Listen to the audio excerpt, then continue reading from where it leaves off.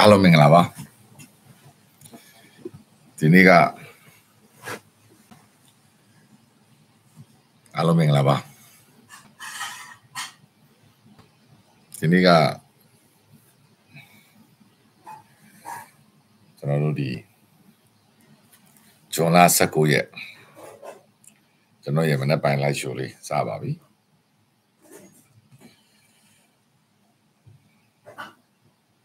ဒီနေ့ပါများထူလိုက်ပေါ့နော်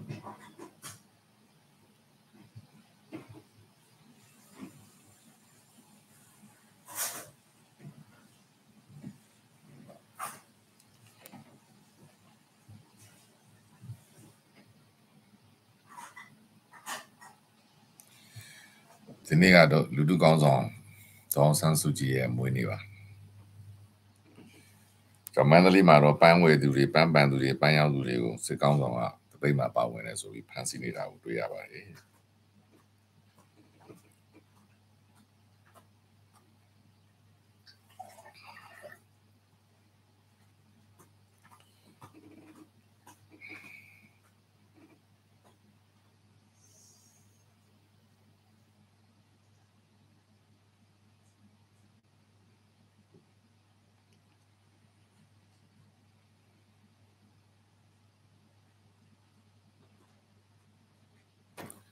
အောင်ဆန်းစုကြည်ရတာ89နှစ်မြောက်မွေးနေ့ပါ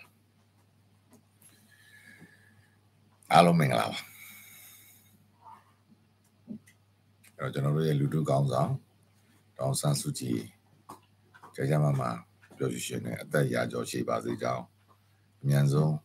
မတရားဖန်ဆီးချုပ်နှောင်မှုကနေလွတ်မြောက်ပြီးသူချစ်ရပါတော့သူ့ရဲ့ပြည်သူများနဲ့အတူတူအမြန်ဆုံးပြန်လဲနေထိုင်နိုင်မှုအတွက်လည်းဆုတောင်းပေးပါနေ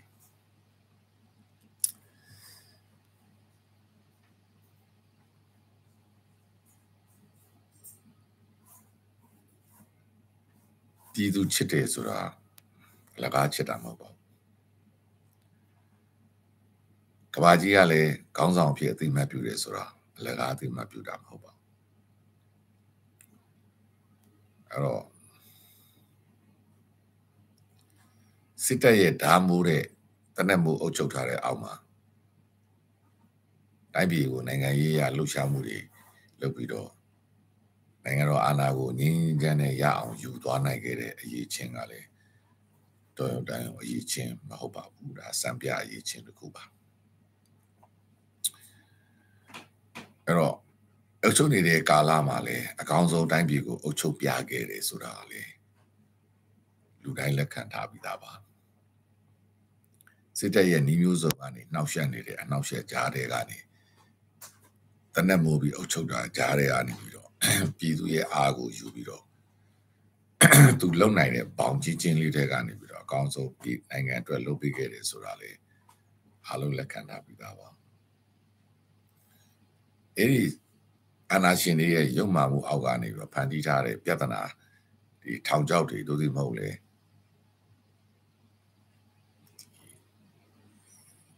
ပိတ်ဆို့မှုတွေကြားတဲ့ကနေပြီးတော့လေအကောင်းဆုံး အတက်နိုင်ဆုံးအလုံးနိုင်ဆုံးကိုဖန်တီးပေးခဲ့တာလေအားလုံးသိပြီးသားပါ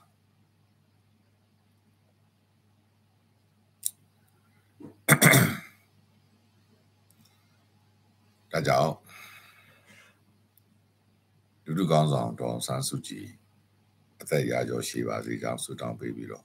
သူချစ်ရပါတော့သူပြည်သူများနဲ့အတူသူရဲ့မိသားစုနဲ့အတူအမြန်ဆုံးကျုံတော်ကလုပ်ပြီးတော့မတရားမှုကနေလုပ်ပြီးတော့ တိုင်းပြည်အကျိုးတွေကိုစားရတဲ့ဖို့ဒီထက်ပိုပြီးထမ်းဆောင်နိုင်ပါစေလို့လည်းဆုတောင်းပေးပါတယ်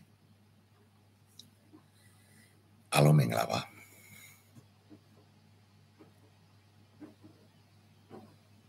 မတရားဖမ်းတာမတရားဖမ်းတာပဲ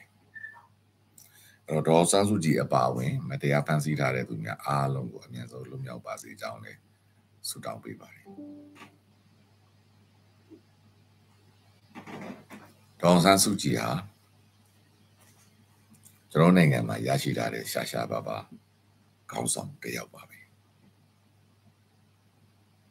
အများစုနဲ့အနည်းစုတော့ပြောစရာရှိတာပေါ့နော်အဲ့တော့မြန်မာနိုင်ငံမှာဒေါ်ဆန်းစုကြည်ရဲ့ခေါင်းဆောင်မှုနဲ့အခမ်းကဏ္ဍဟာ ဆက်လက်ရှိနေစေရှက်လက်ရှက်တန်နေစေဆိုတာကိုလည်းအားလုံးလက်ခံထားပြီးသားပါ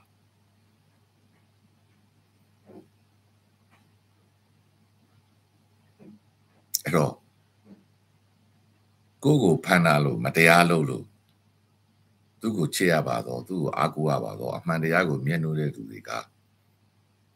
အဲ့ဒီမတရားလုပ်တဲ့လူတွေကိုပြန်လည်ပြီးလက်နက်ခံပြီးတော်လာနေတာကိုအဓိကဒေါ်စန်းစုကြည်အပါအဝင် နိုင်ငံရေးအကျဉ်းသားများအားလုံးကိုမတရားဖမ်းဆီးထားခြင်းကနေလွတ်မြောက်ဖို့ကြိုးစားပေးနေကြတာကိုဒေါ်စန်းစုကြည်အနေနဲ့ဘယ်လိုမှငြင်းပယ်လို့မရပဲလက်ခံမှာပါအမျိုးမြင်ကြီးစွာနဲ့ကိုလက်ခံမှာပါပြည်သူကိုအာဏာဒီပြည်သူလက်ထဲမှာပဲရှိတယ်လို့ယုံကြည်တာဖြစ်တဲ့အတွက်ဒေါ်ဆန်းစုကြည်ကိုယ်တိုင် ပြည်သူရဲ့အဆုံးဖြတ်နဲ့ပြည်သူကသူ့အတွက်သူဒီမဟုတ်နိုင်ငံအတွက်မတရားလုပ်နေတဲ့လူတွေကိုပယ်ရှားနေတဲ့နီလန်မှာသူကိုယ်တိုင်နှီးမျိုးစုံနဲ့ကြိုးစားခဲ့တာကိုလည်းနောက်ဆုံးသူ့ကိုကြက်ကြက်ကလေးငယ်ကလေးဖန်ရတယ်လို့ဖမ်းပြီးတော့လူဘာဝနေတဲ့ဒီစစ်တပ်ကြီးကိုပြန်လည်တော်လှန်နေကြတော့ကြံစည်ကလေးငယ်များအားလုံးကိုဒေါအောင်ဆန်းစုကြည်ကြီးစုတင်နေမှာအမှန်ပါ ဒီဆရာနာရှင်တွေတိုင်းပြည်မှာလုံးဝမရှိသင့်တဲ့ဆရာနာရှင်တွေကိုဖယ်ရှားဖို့စ조사နေတဲ့ဒေါ်လာရေးကြီးကိုလည်းကျေးဇူးတင်နေမှာအမှန်ပါ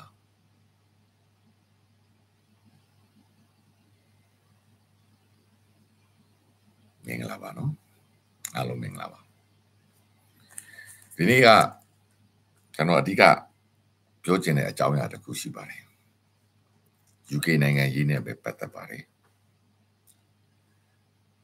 တိုင်းပြည်မှာရှိတဲ့ကျွယ်ဝချမ်းသာမှုခရိုနီခရိုပြားများနဲ့လည်းပတ်သက်ပါတယ်အဓိကတော့ကျွယ်ဝချမ်းသာမှုနဲ့ပတ်သက်ပါတယ်ကိုတိုင်းပြည်မှာရှိတဲ့တူဦးချင်းရဲ့ကျွယ်ဝချမ်းသာမှုအားလုံးဒီနိုင်ငံအတွက်နိုင်ငံရဲ့တဏှာတွေဖြစ်တယ်ဆိုတာကိုကျွန်တော်တို့လက်ခံရပါလိမ့်မယ်အဲ့တော့ကိုနိုင်ငံမှာကျွယ်ဝချမ်းသာတဲ့တန်းတွန်းကျယ်တတိအယောက်သသိန်းရှိတယ်ဆိုရင်ဒီနိုင်ငံကကျွယ်ဝချမ်းသာမှုထဲမှာပါပါတယ် ဒါမြန်မာနိုင်ငံရဲ့သူတူးချင်းချမ်းသာတယ်လို့ပြောပေမဲ့အဲ့ဒါမြန်မာနိုင်ငံရဲ့ကျွယ်ဝမှုပါအဲ့ဒီသူရဲ့ချမ်းသာတဲ့ပတ်စံဟာမြန်မာနိုင်ငံမှာမြန်မာနိုင်ငံရဲ့အရင်းနှီးတွေဖြစ်ပြီးအဲ့ဒီအရင်းနှီးတွေကနေပြီးအလောက်ကိုင်းတွေဖန်တီးတာတွေတခြားတခြားနေရာမှာအသုံးဝင်တာတွေအများကြီးရှိပါတယ်အဲ့ဒီကျွယ်ဝချမ်းသာမှုတွေအလုံးဟာနိုင်ငံကနေစီးဆင်းသွားတယ်ဆိုရင်တခြားနိုင်ငံကိုရွှေ့ပြောင်းသွားတယ်ဆိုရင် အဲ့ဒီပတ်စံတွေကျွယ်ဝချမ်းသာတဲ့လူတွေအတူအဲ့ဒီငွေကြေးတွေအားလုံးသူတို့နဲ့အတူနိုင်ငံကနေယူထုတ်ပြီးတခြားတနေရာကိုရောက်သွားတယ်ဆိုရင်ပြောချင်တာကအခြားနိုင်ငံတနိုင်ငံကိုရောက်သွားတယ်ဆိုရင်အဲ့ဒါနိုင်ငံအတွက်ဆုံးရှုံးမှုပါမိသားစုတစုလိုမှာပဲမိသားစုဝင်တူးချင်းကတန်းထောင်နဲ့ချီပြီးချမ်းသာတယ်တန်းရာနဲ့ချီပြီးချမ်းသာပြီအဲ့ဒီမိသားစုကနေပြီးတော့ ပိုင်ဆိုင်မှုရည်တခြားမိသားစုကိုရွှေ့ပြောင်းသွားပြီးတခြားလုပ်ငန်းကိုရွှေ့ပြောင်းသွားရင်အမိသားစုရဲ့ကြွယ်ဝချမ်းသာမှုညှော်နေသွားတာ ਨੇ အထူးတူပါပဲဒါကြောင့်နိုင်ငံတကာနိုင်ငံကိုအုပ်ချုပ်တဲ့နေရာမှာအဲ့လိုအကြောင်းချင်းရာတွေကိုလည်းထည့်စဉ်းစားရပါတယ်အဲ့တော့နိုင်ငံတကာနိုင်ငံကိုအုပ်ချုပ်တဲ့နေရာမှာအပေါ်စီးကနေပြီးတော့နော်အားလုံးကိုခြုံငုံသုံးသပ်ပြီးစဉ်းစားရတာဖြစ်တဲ့အတွက်အဲ့ဒါမျိုးအခက်ခဲများစွာကြားတဲ့ကနေတော့အောင်ဆန်းစုကြည်ဟာရုပ်ကန်ခဲ့ရ ဒါကြောင့်နိုင်ငံမှာလက်ရှိရှိနေတဲ့ကျေဝချမ်းသာတဲ့သူများနဲ့လည်းသူအဆင်ပြေအောင်နေရတယ်။အဲ့လူတွေအားလုံးလည်းနိုင်ငံကနေပြီးမထွက်ခွာသွားရအောင်စီးပွားရေးလုပ်ငန်းတွေနဲ့သူသွားခြင်းနဲ့စီမံကိန်းများကိုတွားလို့ရအောင်အကန့်အသတ်တွေကြားတဲ့ကနေစစ်အာဏာရှင်တွေတောက်တိုင်ညစ်ပတ်မှုတွေကြားတဲ့ကနေအချုပ်ကြီးမှုတွေကြားတဲ့ကနေအဲ့ဒီလူတွေနဲ့ပူးပေါင်းပြီးတော့လေသူလုပ်ချင်တဲ့စီမံကိန်းတွေ project တွေအားလုံးကိုလုပ်ခဲ့ရတယ်ဆိုတဲ့ဆုံးဖြတ်ချက်တွေချခဲ့ရတာတွေဟာနိုင်ငံကောင်းဆောင်ဖြစ်လာတဲ့လူတွေမှာ ရှိရမယ်အရေးချင်းတွေပါအဲ့ဒီချိန်မှာတချို့ရှူတာပါရှိရင်တော့ဒီခရိုနီဂရုပြားတွေအားလုံးကိုအရန်အားပေးပါတယ်ဒီလူတွေကစစ်တပ်နဲ့ပေါင်းတဲ့လူတွေလိုပဲစဉ်းစားလို့ရပြီမယ်လေတကယ်တိုင်းပြည်မှာအုပ်ချုပ်နေတဲ့လူဘက်ကကြည့်တဲ့အခါကျတော့တိုင်းပြည်ရဲ့ဒနာတွေအားလုံးကိုအကျိုးရှိရှိအသုံးချဖို့အတွက်ပေးထားချက်အရာအကျိုးရှိအသုံးချဖို့အတွက်လှုံ့ဆော်ရတယ်ဆိုတဲ့ဆုံးဖြတ်ရတယ်ဆိုတဲ့အနေအထားလေးတွေကိုကျွန်တော်တို့ကနားလည်ပေးရမှာပါ ဒါလည်းအသွင်ကူးပြောင်းတော့မဲ့မြန်မာနိုင်ငံမှာအလွန်အမတန်အရေးကြီးတဲ့အချက်တစ်ချက်အနေနဲ့ပါလာပါတယ်ယနေ့ပဲကြည့်ဆရာနာရှင်တွေရဲ့မတရားမှုတွေဆရာနာရှင်တွေရဲ့စီးပွားရေးအသုံးမကျမှုတွေဆရာနာရှင်ရဲ့စီးပွားရေးကိုတနက်ပြပြီးတော့ရွှေစည်းတွေချနေတာတွေစားသုံးတွေဒီဈေးကွက်ကကုန်စည်နှုန်းတွေချနေတာတွေတနက်ပြပြီးအတင်းကျပ်ရောင်းခိုင်းနေတာတွေ အားလုံးဟာလေသူတို့ရဲ့မှားယွင်းတဲ့စီမံခန့်ခွဲမှုတွေအဲ့ဒီထဲမှာမှအရေးကြီးဆုံးတစ်ချက်ကစစ်မှုထမ်းမနေရစစ်မှုမထမ်းမနေရဆိုတဲ့ဥပဒေကြီးကိုထုတ်ပြန်လိုက်တဲ့အခါမှာတိုင်းပြည်မှာရှိတဲ့စီးပွားရေးငွေကြီးရှိတဲ့လူတွေကကနတော့ကသူတို့လောက်ကင်နေတဲ့စီးပွားရေးတွေကိုအတင်းအကျပ်ဖန်ဆီးခြင်း ရွှေဆိုင်ကိုဖမ်းခြင်းဒေါ်လာသမားကိုဖမ်းခြင်းခဏတော့လာစာတိုးပေးလို့လှုပ်ရှင်ကိုဖမ်းခြင်းအတင်းအကျပ်ဈေးနှုန်းဈေးနှုန်းတွေနဲ့ရောင်းချခိုင်းခြင်းဟိုမှာရွှေတပဲရောင်းတဲ့ကိစ္စပေါ့အတင်းကျပ်စားအုံးစီတွေကိုရောင်းချခိုင်းခြင်းဒီလိုနေထားကနေစီးပွားရေးလုပ်ငန်းတွေလုပ်လာလို့မရတော့ဘူးသူတို့ရဲ့စီမံခန့်ခွဲမှုအလွဲမှားတွေနဲ့ငွေကြေးထုတ်ငွေကြေးထုတ်ပြန်ခြင်းငွေကြေးပေါင်းပွားခြင်းနော်နိုင်ငံတော်ရဲ့ဝင်ငွေအလုံးကိုစစ်တပ်မှာပဲ စစ်သုံးစိတ်တင်မှာပဲအသုံးများပြီးစီမံခန့်ခွဲမှုအလွဲမှားတွေနဲ့လက်ပိလက်ယူမှုနဲ့ကြီးမားစွာနဲ့သူတို့အိတ်ထောင်တွေထောင်နေခြင်းပြီးတော့အာနာအာနာမရှိတဲ့လူတွေဒီလိုကြတော့ဖန်ဆီးခြင်းညှဉ်းပန်းခြင်းနှိပ်စက်ခြင်းများလုပ်လာတဲ့အခါအဲ့ဒီစီးပွားရေးသမားတွေငွေကြေးရှိတဲ့လူတွေကရွေးချယ်စရာမရှိပဲစစ်မှုကမ်းမှုအရွယ်အရွယ်ရှိနေတဲ့သားသမီးများကိုလက်ဆွဲပြီးတိုက်ပြည်ကနေထွက်ခွာရတော့တာပဲထွက်ပြေးရတော့ အဲ့တော့ကိုသားသမီးကိုကိုအိမ်မှာကိုလုံးလုံးကြုံကြုံထားထားလို့မဖြစ်မှမဖြစ်နိုင်ဘူးကိုမှအာနာမှမရှိတာအဲ့တော့ဆေးအာနာရှင်တွေနဲ့ပတ်သက်တဲ့လူတွေကကြတော့အာနာရှိတဲ့စစ်ဗိုလ်ချုပ်တွေပေါ့သူတို့ရဲ့တောက်တိုင်တွေကကြတော့သူတို့သားသမီးတွေကိုလုံးလုံးကြုံကြုံထားထားလို့ရပြီမဲ့လေငွေကြီးချမ်းသာတဲ့စီးပွားရေးသမားတွေကအဆက်အသွယ်မရှိတဲ့အခါမှာကိုသားသမီးတွေအပြင်သွားရင်လည်းဖန်ခံရနိုင်တာပဲ။ဒုမို့လည်းငွေညစ်တာလည်းခံရနိုင်တာပဲ။ပြန်ပြီးဆွဲတာလည်းခံရနိုင်တာဖြစ်တဲ့အတွက်သူတို့ရဲ့လုံခြုံမှုကိုထိခိုက်လာတဲ့အခါမှာ မိဘတွေဟာသားသမီးကိုကာကွယ်ပေးရမယ်ဆိုတဲ့မိဘဝတ္တရားရသားသမီးတွေလက်ကိုဆွဲပြီးအနှိမ့်ဆုံးအစဉ်ထိုင်းနိုင်ငံတခြားနိုင်ငံကိုရွှေ့ပြောင်းပြီးသူတို့ရဲ့ဒနာတွေကိုပါယူထုတ်သွားတော့မှာပဲဘလောက်ရက်ဆက်လဲဆိုရင်တာမန်ပြည်သူတွေတောင်သူတို့ရဲ့ပုသူတို့ရဲ့ပိုင်တဲ့အိမ်အိမ်အိမ်များကိုရောင်းချပြီးနှီးမျိုးစုံနဲ့အခက်အခဲမျိုးစုံကြားကနေအနှိမ့်ဆုံးထိုင်းနိုင်ငံကိုရွှေ့ရွှေ့ကြပြီအဲ့တော့ မြန်မာနိုင်ငံရဲ့ဒဏတွေအားလုံးဒီထိုင်းနိုင်ငံကိုသွားပြီအဲ့ဒါဒီတိုင်းပြည်ရဲ့ကြီးမားတဲ့ဆုံးရှုံးမှုတစ်ခုပါတချို့ကတော့ပြောတယ်ဗောအာနာရှင်နေနဲ့ပေါင်းစားတဲ့ဒီတထေးတွေတထေးတကြွယ်တွေထွက်သွားတာကောင်းတယ်လို့ရှုထောက်ကရှိပေမဲ့လေတိုင်းပြည်ကိုအမှန်တကယ်အုပ်ချုပ်မယ်အစိုးရအနေနဲ့စဉ်းစားရင်အဲ့လိုမျိုးတွေမသွားဖို့အတွက် passport တွေပိတ်ထားပါတယ်မှန်ပါတယ် passport တွေပိတ်ထားတယ်ဆိုတာကျွန်တော်တို့လိုသာမန်စင်းသားပြည်သူများအတွက်ပိတ်ထားတာလူကြီးမင်းလို့ယုံလားမသိဘူးအဲ့ဒီလူဒန်းစားတွေအတွက်၃ရက်အတွင်း passport ရတယ်သိတရပေးဖို့ပဲလို့တာ passport ကိုဘယ်သူကလုပ်တယ်လဲရဲကလုပ်တာ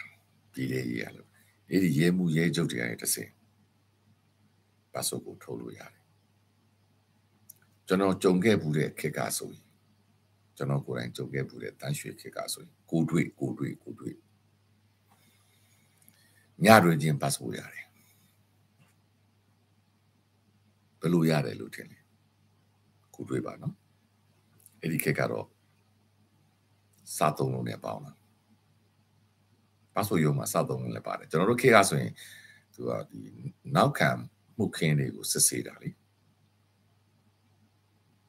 အဲ့တော့မိတ်ဆွေတရားကအရေးတကြီးထွက်ချင်တယ်အကြောင်းကတော့သူကအဲ့ဒီခေတ်ကလေ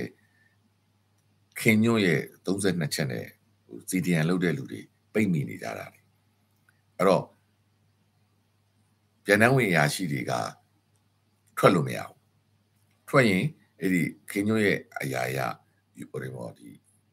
ဘွဲရထားရင်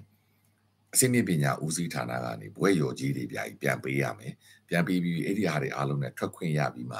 passport ရှောက်လို့ရတာအဲ့လိုမျိုးမဟုတ်ဘူးဆိုရင်အဲ့ဒီပြည်내ဝင်ရရှိတွေအားလုံးကို blacklist လုပ်ထားတယ်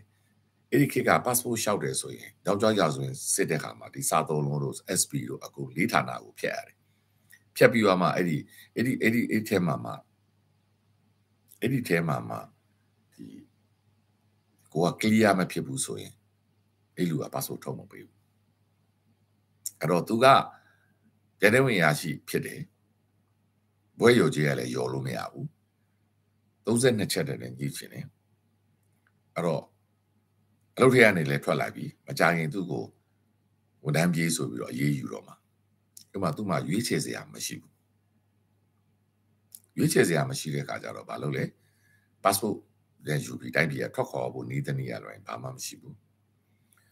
အဲ့လိုမျိုးနဲ့အဆက်အသွယ်ရှာတဲ့အခါမှာဒီသက်ဆိုင်ရာလူတွေက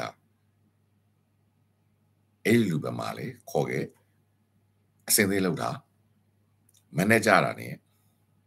လေးစိတ်ကိုလာခဲ့တိုင်းပြည်ကတရားဝင်ထွက်မှာနော်ခိုးထွက်တာမဟုတ်ဘူး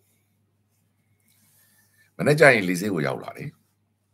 တိုင်ရန်ကြီးတစ်ခုတော့ပေးရတာပေါ့ဗျာအမောက်တစ်ခုပေါ့နော်လေးစိတ်ကိုရောက်လာတယ်အဲ့ဒီလုတ်ပေးပဲအရာရှိကြီးတူဦးကိုယ်တိုင်ပါလာတယ်ပြီးတော့ immigration ကိုဖြတ်တဲ့အခါမှာသူ့လက်ထဲကို passport ထည့်ပေးလိုက်တယ်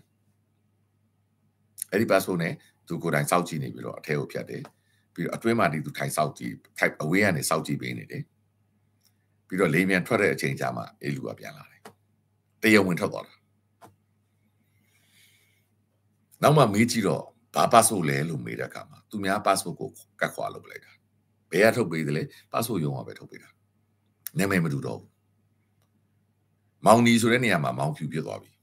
ဒါပေမဲ့ဓာတ်ပုံကသူဓာတ်ပုံအောက်မှာရှိတဲ့အဲဒီ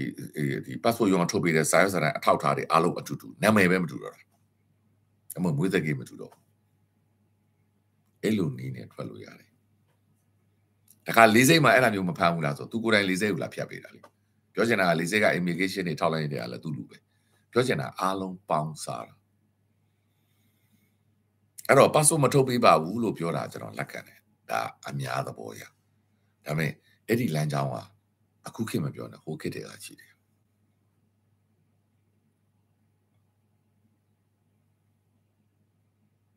အဲ့တော့ငကိုတွေကသူတို့ကငွေကြေးတက်နိုင်တဲ့လူတွေအဆက်အသွယ်ရှိတဲ့လူတွေအတွက်အခုမင်းအောင်လိုင်ခေတ်မှာဝန်ထမ်းတိုင်းကကြီးပွားချမ်းသာနေတယ်ဆိုတာဒီလိုနီးနေတယ်မင်းအောင်လိုင်ကဥပဒေတခုထုတ်လိုက်လေဝန်ထမ်းတွေရဲ့စားခွက်တွေတွေ့လာလိမ့်မယ်အခုမင်းအောင်လိုင်ဥပဒေထုတ်လိုက်တယ် အောက်ခြေမှာရှိတဲ့စစ်သားစုဆောင်တဲ့လူတွေကထောသွားပြီဒီသဘောပါပဲအဲ့တော့အဲ့လိုပုံစံနဲ့တိုက်ပြည်ရဲ့ဒနာတွေဟာရွေကုန်တာသူတို့အတွက်ပါဆိုကဘာမှမထူးစားကျွန်တော်တို့လိုတာမန်လူတွေကတော့အလွန်မနဲ့ကက်ခဲတယ်သူတို့တွေကဘာမှမထူးစားဘူးဒါကိုကျွန်တော်ဆိုလိုချင်တာဒါပေမဲ့သူတို့လည်းအန်ဒီမရှိဘူးလားရှိတာပဲပေါ့ဒါပေမဲ့ပါဆိုတော့ရအောင်ယူပြီးထွက်သွားလိုက်လိမ့်မယ်အဲ့လိုထွက်သွားတဲ့အခါမှာ မတော်တဆအဲ့လိုမျိုးနီးနဲ့ထွက်သွားရင်ပို့ဆိုးတယ်ပေါ့နော်အဲ့ဒါဆိုရင်တို့ဘာလုပ်ကြမလဲအခုဆို PV တို့ PG တို့ဒါဟုတ်တယ်ဥပဒေအရ PV PG ကနေ job passport ကနေ visit passport မပြောင်းဘူးဒါပေမဲ့ပတ်စံပေးရင်လည်းပြောင်းပေးပါမယ်ဘာလို့ passport ရုံးကဘယ်သူထုတ်နေတာအဲ့ဒီ passport ရုံးကလူတွေကိုလှုပ်ရှားခွင့်ပေးထားပြီးသားမင်းအမေစစ်ပဲပေါ့နော်တိုင်းပြည်ကသူတို့လိုချင်တဲ့ one step မဟုတ်ဘူးဆိုရင်သူတို့လိုချင်နေတဲ့ one step ပေါ့ သူတို့လိုချင်တဲ့ဝရမ်းပြေးပေါ့သူတို့လိုချင်တဲ့ဥပဒေအမိတ်ထုတ်ထားတဲ့လူမဟုတ်ဘူးဆိုရင်တော့လုပ်ပေးလိုက်ပါမယ်ပြီးတော့ပတ်စံကိုအဲ့ဒါကောက်ထည့်လိုက်ပါမယ်အဲ့လိုနီးနဲ့လူတယောက်ကို350ရရင်လူရောက်တစ်ထောင်လောက်လိုက်ရင်ဒီလူဒီခရိုနီခရိုပြာနဲ့တော့ချမ်းသာတဲ့ဘဝကိုရောက်သွားမှာတစ်ချက်တည်းရောက်မှာအဲ့တော့သူတို့ကတော့ဝေစားမျှစားတွေလုပ်ကြမှာပေါ့အဲ့တော့ပြောချင်တာကပြောချင်တာကအဲ့လိုနီးချင်း သူတို့သားသမီးတွေပါခေါ်ထုတ်သွားပြီးတိုင်းပြည်ရဲ့ဒဏတွေအလုံးဆုံးရှုံးသွားတဲ့အခါမှာဒါကျွန်တော်တို့နိုင်ငံအတွက်အလွန်အမတန်ဆုံးရှုံးမှုကြီးပဲအဲ့တော့ UK နိုင်ငံမှာလေအဲ့ဒါဖြစ်နေတယ်ဒါကျွန်တော်တို့အနာဂတ်မှာစုံတွေ့ရတော့မယ်ကြုံရမယ်ကျွန်တော်တို့ရဲ့အနေအထားပဲကျွန်တော်တို့ကမင်းအောင်လိုင်းကိုနိုင်အောင်တိုက်တော့မှာမင်းအောင်လိုင်းဒီရှုံးကိုရှုံးနေပြီ မင်းအောင်လိုင်းဒီရှုံးကိုရှုံးနေပြီဖြစ်တယ်ဖြစ်တဲ့အတွက်ကျွန်တော်ပြောချင်တာကကျွန်တော်တို့ဒီနိုင်တော့မှာကျွန်တော်တို့ဒီ chain တွေအုပ်ချုပ်ရေးစနစ်တစ်သေးတစ်ခုကိုတွေ့ရတော့မှာအဲ့တော့ကျွန်တော်ပြောသလိုပဲတိုင်းသားတွေအုပ်ချုပ်တာပဲဖြစ်ဖြစ်နော်ဖက်ဒရယ်ဖွဲ့စည်းပုံအခြေခံဥပဒေပေါ်လာပြီးဂျာကာလာဆိုအုပ်ချုပ်ကျွန်တော်တို့ဒီဒီနိုင်ငံရေးစနစ်တစ်ခုနဲ့စနစ်တစ်ခုအပြောင်းကိုကြုံကြုံရတော့မှာဖြစ်တဲ့အတွက်အဲ့ဒီအချိန်မှာစဉ်းစားကြတဲ့ပုံတွေအားလုံးကမတူပါဘူးဆိုလိုချင်တာက အဲ့လိုစဉ်းစားမှုများဟာဖြစ်ပေါ်လာရင်လေတနက်ကြိုင်ပြီးဖြည့်ရှင်းစရာမလိုဘူးဆိုတာကိုကျွန်တော်ကထောက်ပြချင်တာ UK နိုင်ငံမှာ conservative အစိုးရတက်တော့ conservative အစိုးရရဲ့သဘောတရားသည်ကျွန်တော်အမြဲတမ်းပြောထားတာရှိပါတယ်ငွေကြေးချမ်းသာတဲ့လူတွေကိုသူကဦးစားပေးတာအဲ့တော့ငွေကြေးချမ်းသာတဲ့လူတွေအခွန်အခပေးမှုကိုတတ်နိုင်တယ်များသူကလိုက်ချုပ်ထားတယ်ပြောကြတထေးခွန်တွေပေါ့ အမြဲတမ်းသူကသူကထိန်းထားပေးတယ်ဥမာကုမ္ပဏီပေးရမယ့်အခွန်ငွေတွေပေါ့နော်လုပ်ငန်းရှင် corporation တွေပေးရမယ့်အခွန်တွေတထေးတွေကပစ္စည်းတွေသူ့ရဲ့ရင်းနှီးမြှုပ်နှံမှုကနေရရှိလာမယ်အတိုးမြောက်နှုန်းမှာပေးရမယ့်အခွန်ငွေတွေတထေးခွန်တွေကျွန်တော်တို့တာမန်ဝန်ထမ်းတွေမဟုတ်ဘူးအဲ့ဒီအခွန်တွေကိုသူကနီးမျိုးစုံနဲ့ short ပေးဖို့သူကစူးစမ်းတယ်အဲ့ဒီကနေမှအဲ့တထေးတွေရဲ့ထောက်ခံမှုတွေနဲ့သူတို့ကနိုင်ငံရေးလောကမှာယက်တည်ကြတာအဲ့တော့ တန်တရားချမ်းသာတဲ့လူတယောက်ကိုအခွန်နည်းနည်းလေး3.5ရေကတော့ short ပေးလိုက်ရင်သူ့အတွက်10တန်းလောက်အမြတ်ထွက်လာတာအမြောက်အမောက်များတာအဲ့တော့သူတို့တွေကအဲ့ဒါကိုဇိမ်ကန်သင်းမောတွေဝယ်တယ်ဇိမ်ကန်ရွက်လက်တွေဝယ်တယ်တခြားအသုံးစရိတ်တွေလဲလေတော်အိမ်တွေဝယ်တယ်အဲ့ဒါတွေအားလုံးဒီသူတို့ရဲ့ spending မှာကုန်ကျစရိတ်ထဲမှာထည့်ပြီးတော့အခွန် short ပေးရအောင်ဒီမျိုးစုံနဲ့လောက်တာပြီအဲ့ဒါတွေအားလုံးကိုလည်းနိုင်ငံတော်ကနေအခွန်တွေကိုမသိမသာပြင်ပေးတယ်ဒါပေမဲ့အဲ့ဒါတွေအားလုံးကိုတောင်းတန်းကို ကျွန်တော်တို့လိုတာမန်လူတန်းစားတွေကနားမလည်ဘူးသိလည်းမသိဘူး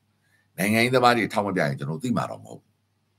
ဒါပေမဲ့အဲ့ဒီလူတန်းစားတွေအတွက်အခွန်ကအဲ့လိုနီးမျိုးစုံနဲ့ short နေတာကျွန်တော်တို့ကကြတော့ပိုင်ဆိုင်မှုလည်းမရှိဘူးကိုရတဲ့ဝန်ထမ်းလစာပဲကိုပေးလိုက်ရတာတော့ကိုကိုဝန်ထမ်းလစာပါပေးရတဲ့အဲ့ဒီအခွန်ကိုများတဲ့နေလောက်ပဲသိတယ် သူတို့ကြတော့အလွန်မတန်ရှုပ်ထွေးတာသူ့မှာပိုင်ကုမ္ပဏီပိုင်မြပြသူ့မှာရဟရင်ပိုင်မြပြသူ့မှာအိမ်တွေအိမ်တွေဝယ်ထားပြီးတော့အိမ်တွေငှားစားတာတွေရှိမြပြစီးပွားရေးလုပ်ငန်းတွေငှားစားတာတွေဝင်ငွေရှိမြပြ stock share တွေ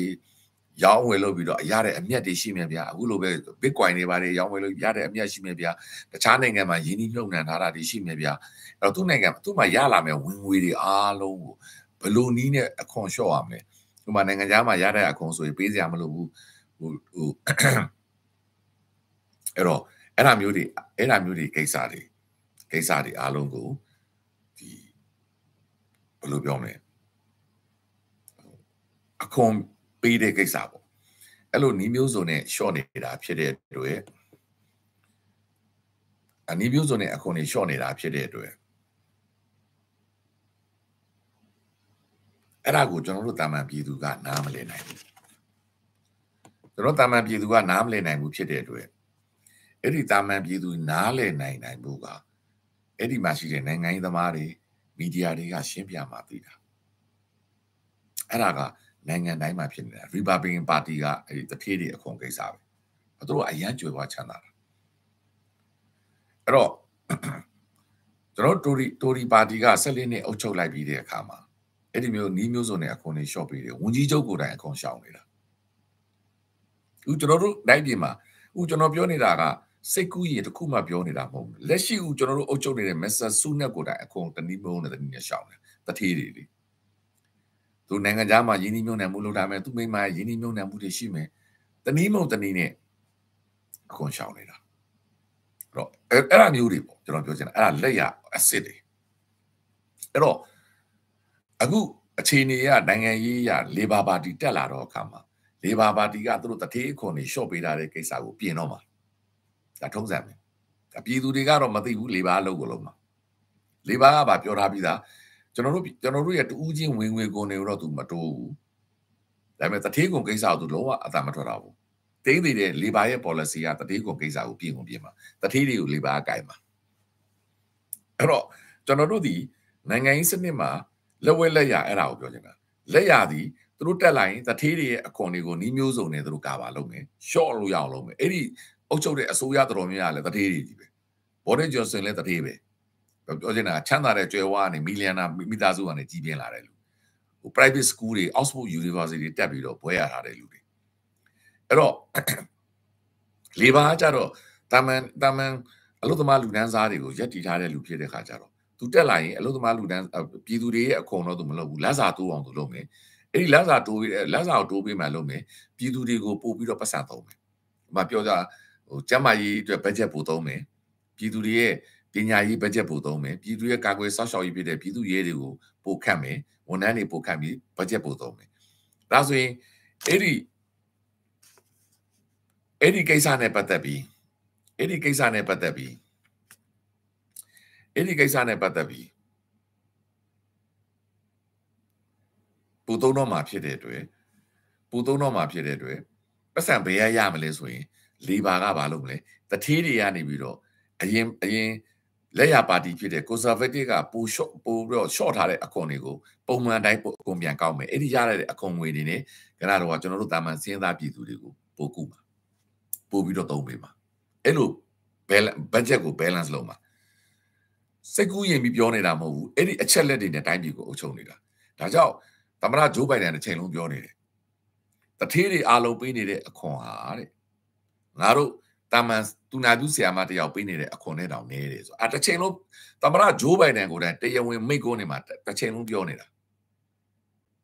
ဒါကြောင့်သူကတထေးအခွန်တွေကိုတထေးတွေအခွန်ရှောင်ထားတာပေါ့ဗျာဘယ်မှာလို့ပြောရင်အဲ့ဒီရှောင်ထားတဲ့အခွန်တွေကိုသူကပြန်ကောက်မယ်ပြန်ကောက်ပြီးအဲ့ဒီရလာတဲ့ပိုတဲ့ပတ်စံနဲ့ပြည်သူကိုပြန်သုံးပါ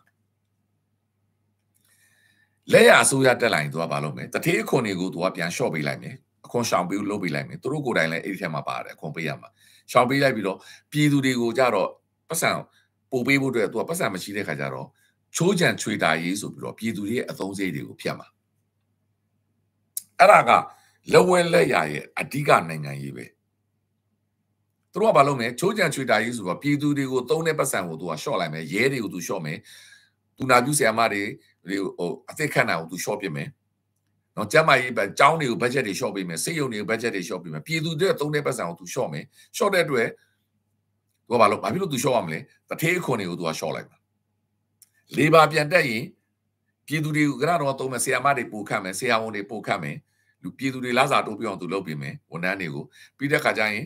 ရဲတွေပို့ခန့်ပေးမယ်အဲ့ဒီတော့ပတ်စံလိုလာပြီအဲ့ဒီပတ်စံကိုခဏတော့ကလက်ရပါတီကရှော့သွားတဲ့တထေးခွန်တွေကိုပြန်ယူမယ်အဲ့လိုနီးနဲ့နိုင်ငံကိုအုပ်ချုပ်နေတာ ဒါအကြံပြင်းအဲ့ဒါဒီဒီနေ့ကဘာပေါ်မှာဖြစ်နေတယ်ကျွန်တော်တို့သွားနေတဲ့ဒီမိုကရေစီပဲဒါပေမဲ့အဲ့မှာလေဘာပါတီကဘာစဉ်းစားရမလဲဆိုတော့တထေးခွန်တွေကိုအရန်ပြန်ကောက်လိုက်ရင်တထေးတွေကတိုက်ပြည်ကထွက်သွားရင်ကိုယ်နိုင်ငံအတွက်ဆုံးရှုံးမှုအဲ့ဒါဆိုရင် तू အုပ်ချုပ်တဲ့သူအစိုးရမှာ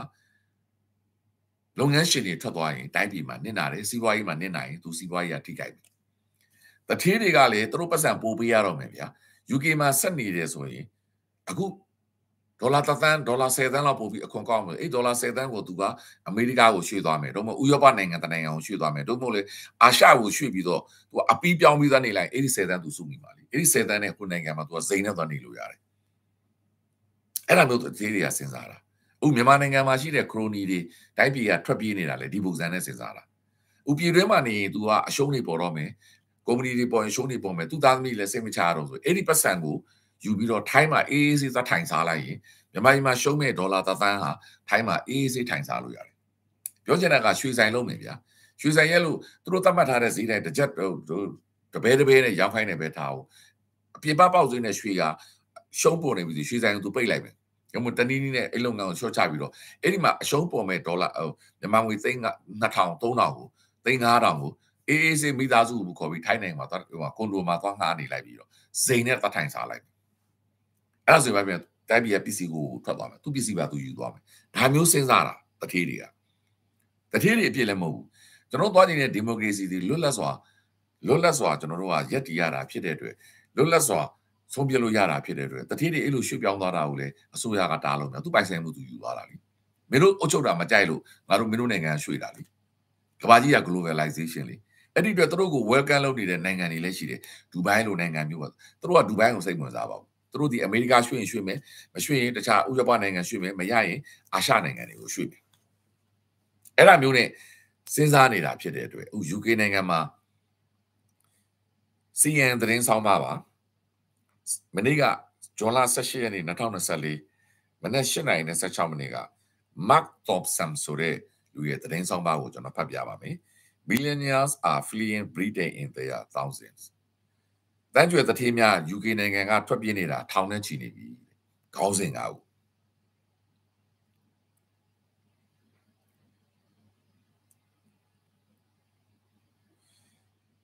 ဝူကြီးချုပ်မဆာရီရှီဆူနဲ့သူ့ရဲ့မိန်းမ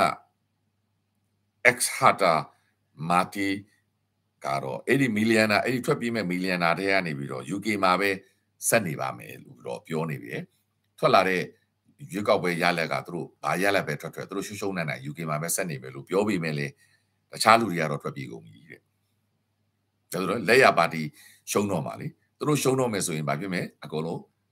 အခွန်တွေသူတို့ရှောင်ထားတဲ့အခွန်တွေကိုလေပါပြန်ကောက်တော့မှာပြန်ကောက်ပြီးပြည်သူတွေကိုခွဲပေးမှာစနစ်ကတရားစင်းတော့သူတို့ပြရတဲ့ပတ်စံနေနဲ့ပြည်သူကိုပြန်ပေးမှာ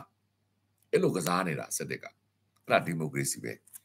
အဲ့ဒီကနေတိုင်းပြည်တိုးတက်နေတာ A record number of millionaires could live the United Kingdom this year political နိုင်ငံရေးမတည်မတည်မငြိမ်မှုကြောင့်ဒီနှစ်ပြင်မှာ UK နိုင်ငံကမီလီယံနာတန်းကျွယ်တတိတွေအကုန်လုံးထောက်သွားကြတာမှတ်တမ်းတင်လောက်တယ်တဲ့။ဘာကြောင့်လဲ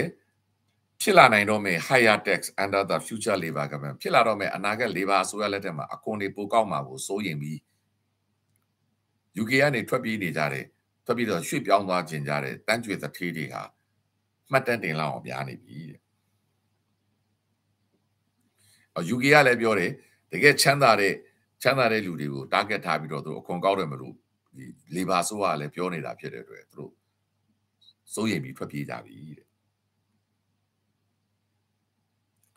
လူ9500အနည်းဆုံးဒေါ်လာသန်းရှိတဲ့လူပိုင်ဆိုင်မှုသန်းရှိတဲ့လူ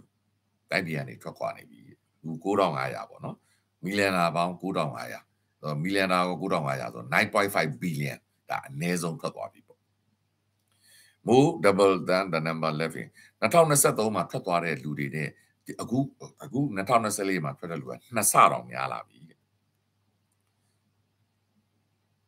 အဲ့တော့ migration advisor ဒီလူမှုကြီးကြပ်ရေးနဲ့ပတ်သက်တဲ့အကြံပေးအရာရှိအဖွဲ့ကနေပြီးတော့သတင်းထုတ်ပြန်လိုက်ဒီမှတ်တမ်းထုတ်ပြန်လိုက်တယ်အဲ့ဒီအချက်လက်ကကြည်ကြည်ရပြီသူကတဖြည်းဖြည်းဇာတူတိုးနေတယ်ထွက်ခွာတဲ့လူတွေကတဲ့အဲ့တော့တိုင်းပြည်ရဲ့ ဒီကြွယ်ဝချမ်းသာမှုတစ်ခုချင်းတူးချင်းကြွယ်ဝချမ်းသာမှုကနေတိုင်းပြည်ကနေထွက်သွားတာကအယံမြင့်မာမြင့်မာနေတယ်နော်ဒီ UK ကဥရောပနေထွက်ပြီးတဲ့နောက်ပိုင်းမှာကြံခဲ့တဲ့ဒီနောက်ပိုင်းမှာ UK က Brexit ကထွက်တာဖြစ်တဲ့အတွက်လန်ဒန်မြို့ဟာ no longer see at the financial center တော့ကဘာကြီးရဲ့ဘဏ္ဍာရေးဆိုင်ရာဘ ਹੁ ချက်မှမဟုတ်တော့ဘူးဆိုတာကိုလည်းသိလာတဲ့အတွက်ထွက်ပြေးကြတာကျွန်တော်အဲ့ဒါကြောင့်ပြောပြောနေတ ယ် Brexit ကထွက်တဲ့အတွက်ခံစားရတော့မယ်အဲ့ဒါပါတယ်အဲ့ဒီတုန်းကအဲ့ဒီကတော့ဘော်ဒိုဂျိုဆန်တို့ကိုမလုတ်ပါနဲ့အမျိုးသားကြီးတွေလုပ်ပြီးဥရောပကမထွက်ပါနဲ့ထွက်ရင်ဥရောပနဲ့ဒီဥရောပနိုင်ငံများနဲ့ကျွန်တော်တို့ဥပဒေစည်းမျဉ်းတွေဘယ်လိုပြောမလဲကာဆန်ဥပဒေတွေပြင်လိုက်တဲ့အခါမှာ UK နိုင်ငံကအဲ့ဒီအခွင့်အရေးကနေဥရောပကဘာကြီးရဲ့ငွေကြေးဆိုင်ရာ market ကြီးဘောကနေရှော့ချသွားလိမ့်မယ် UK ကဥပဒေအသစ်တွေဖြစ်သွားရင်မင်းတို့ထုတ်ကျင်တဲ့ဥပဒေအရ ယင်းနှိမ့်မြုံနယ်မှုသမားတွေအားလုံးတိုင်းပြည်ကနေထွက်သွားလိမ့်မယ်လို့အတန်တန်သတိပေးခဲ့တယ်အဲ့ဒါကို Boris Johnson ဆိုတဲ့အခုလှုပ်ရှားသွားတဲ့ဒီမဆာရီရှီဆူနဲ့အစုံလက်ရစွန်းတဲ့နိုင်ငံရေးသမားတွေကလှုပ်ရှားလိုက်တဲ့အခါမှာဒီနေ့အဲ့ဒါကိုဆက်ဖြစ်တာเนาะအဲ့ဒါကြောင့် UK ဟာကမ္ဘာ financial market ရဲ့ဈေးကွက်ပင်မနေရမဟုတ်တော့တဲ့အတွက်လေတန်းကျက်တထွေးတွေတိုင်းပြည်ကနေခွာကြတာအဲ့ဒီအဲ့ဒီ report ကလည်း အချက်လက်ဘယ်လောက်ကိုခေခံရလဲဆိုတော့ UK နိုင်ငံမှာရှိတဲ့ high net worth individual တူဦးချင်းကြွယ်ဝချမ်းသာမှုအမြင့်ဆုံးရှိတဲ့လူပေါင်းသသိန်းခွဲကိုစစ်တမ်းထုတ်တာလား UK နိုင်ငံမှာဒေါ်လာသန်းနဲ့ချီချမ်းသာတယ်တသန်းဆိုတာအနည်းဆုံးပေါ့အထက်မှာတန်း10တန်းဖြစ်မယ်တန်း100ရှိမယ်တန်း1000ရှိမယ်အဲ့လိုချမ်းသာတဲ့လူပေါင်းသသိန်းခွဲကနေမှတ်တမ်းကိုထွက်ပြီးကြည့်ပြီးတော့အဲ့ဒီသသိန်းခွဲတဲ့ကနေလူ9500ကတိုင်းပြည်ကနေပြောင်းရွှေ့သွားပြီဒါကိုသူကထောက်ပြတာ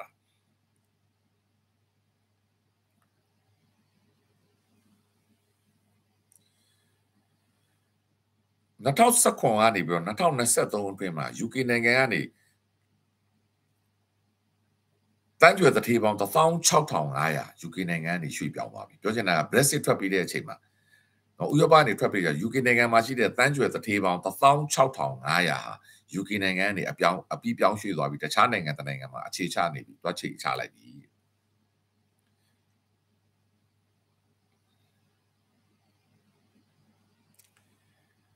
အဲ့ဒါကြောင့်ဘာကြောင့်လဲဆိုတော့ကဘာကြီးမှာဖြစ်နေတဲ့နော်ဒီပထဝီနိုင်ငံရေးရတင်းမာမှုတွေစီးပွားရေးရမမသေးကြမရေရာမှုတွေလူလူလူမှုရေးရအကွဲပြဲတွေအဲဒါကြောင့်မီလီယံနာတော်တော်များများကအဲ့ဒါတွေအားလုံးကိုကြည့်ပြီးတော့တိုင်းပြည်ကနေထွက်ခွာသွားပြီးရွှေ့ရှိသွားကြတယ်တဲ့အဲ့ဒါမျိုး နိုင်ငံ15နိုင်ငံထဲမှာ UK နိုင်ငံလည်းပါပါတယ်တဲ့အဲ့ဒီထဲမှာ UK နိုင်ငံကအများဆုံးတိုင်းပြည်ကနေတန်းကျွေတွေတွေထွက်ခွာသွားတာအများဆုံးပဲတဲ့တရုတ်ပြည်ကကြတော့အဲ့ဒီကနတော့က9နှစ်အတွင်းမှာတရုတ်ပြည်ကထွက်သွားတဲ့တန်းကျွေတွေက15200ပဲရှိတယ်တရုတ်ပြည်ကလည်းထွက်ပြေးတယ်နော်သူတိုက်ပြည်ကမတည်မငြိမ်ဖြစ်တယ်ပါချမ်းသာလာတရုတ်တတိတွေကလည်းတရုတ်နိုင်ငံမှာမနေတော့ဘူးမဟောင်ကောင်တို့ဘာလို့ရွှေ့တာပေါ့စင်ကာပူတို့ရွှေ့တာပေါ့အဲ့လိုမျိုးပဲ UK ကကြတော့16500ရွှေ့တယ်တရုတ်ပြည်တောင် 15200ပဲရွှေ့ပဲရွှေ့သွားတာအဲ့တော့တရုတ်ပြည်နဲ့ကို UK ကထွက်ပြေးတဲ့လူပုံများတယ်တဲ့အဲ့ဒီအများဆုံးထွက်ပြေးသွားတဲ့လူတွေရတော့တဲ့ဂျပန်ရေဟောင်ကောင်ရေပဲတဲ့ဂျပန်မှာလည်းအဲ့ဒါမျိုးထွက်ပြေးသွားတဲ့လူရှိတယ်ဟောင်ကောင်မှာလည်းလူထွက်ပြေးသွားတဲ့လူတွေရှိတယ်တဲ့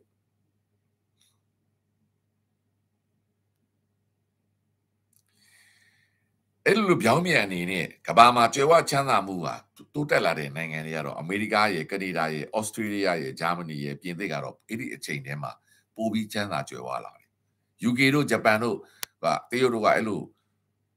တထေးတွေထွက်ပြေးသွားပြီမဲ့လေကနတော့ကပြောင်းပြန်အနေနဲ့အမေရိကရဲ့ကနေဒါရဲ့ဩစတြေးလျရဲ့ဂျာမနီရဲ့ပြင်သစ်ကကြတော့အဲ့ဒီချိန်မှာပိုပြီးချမ်းသာကြွယ်ဝလာတယ်တဲ့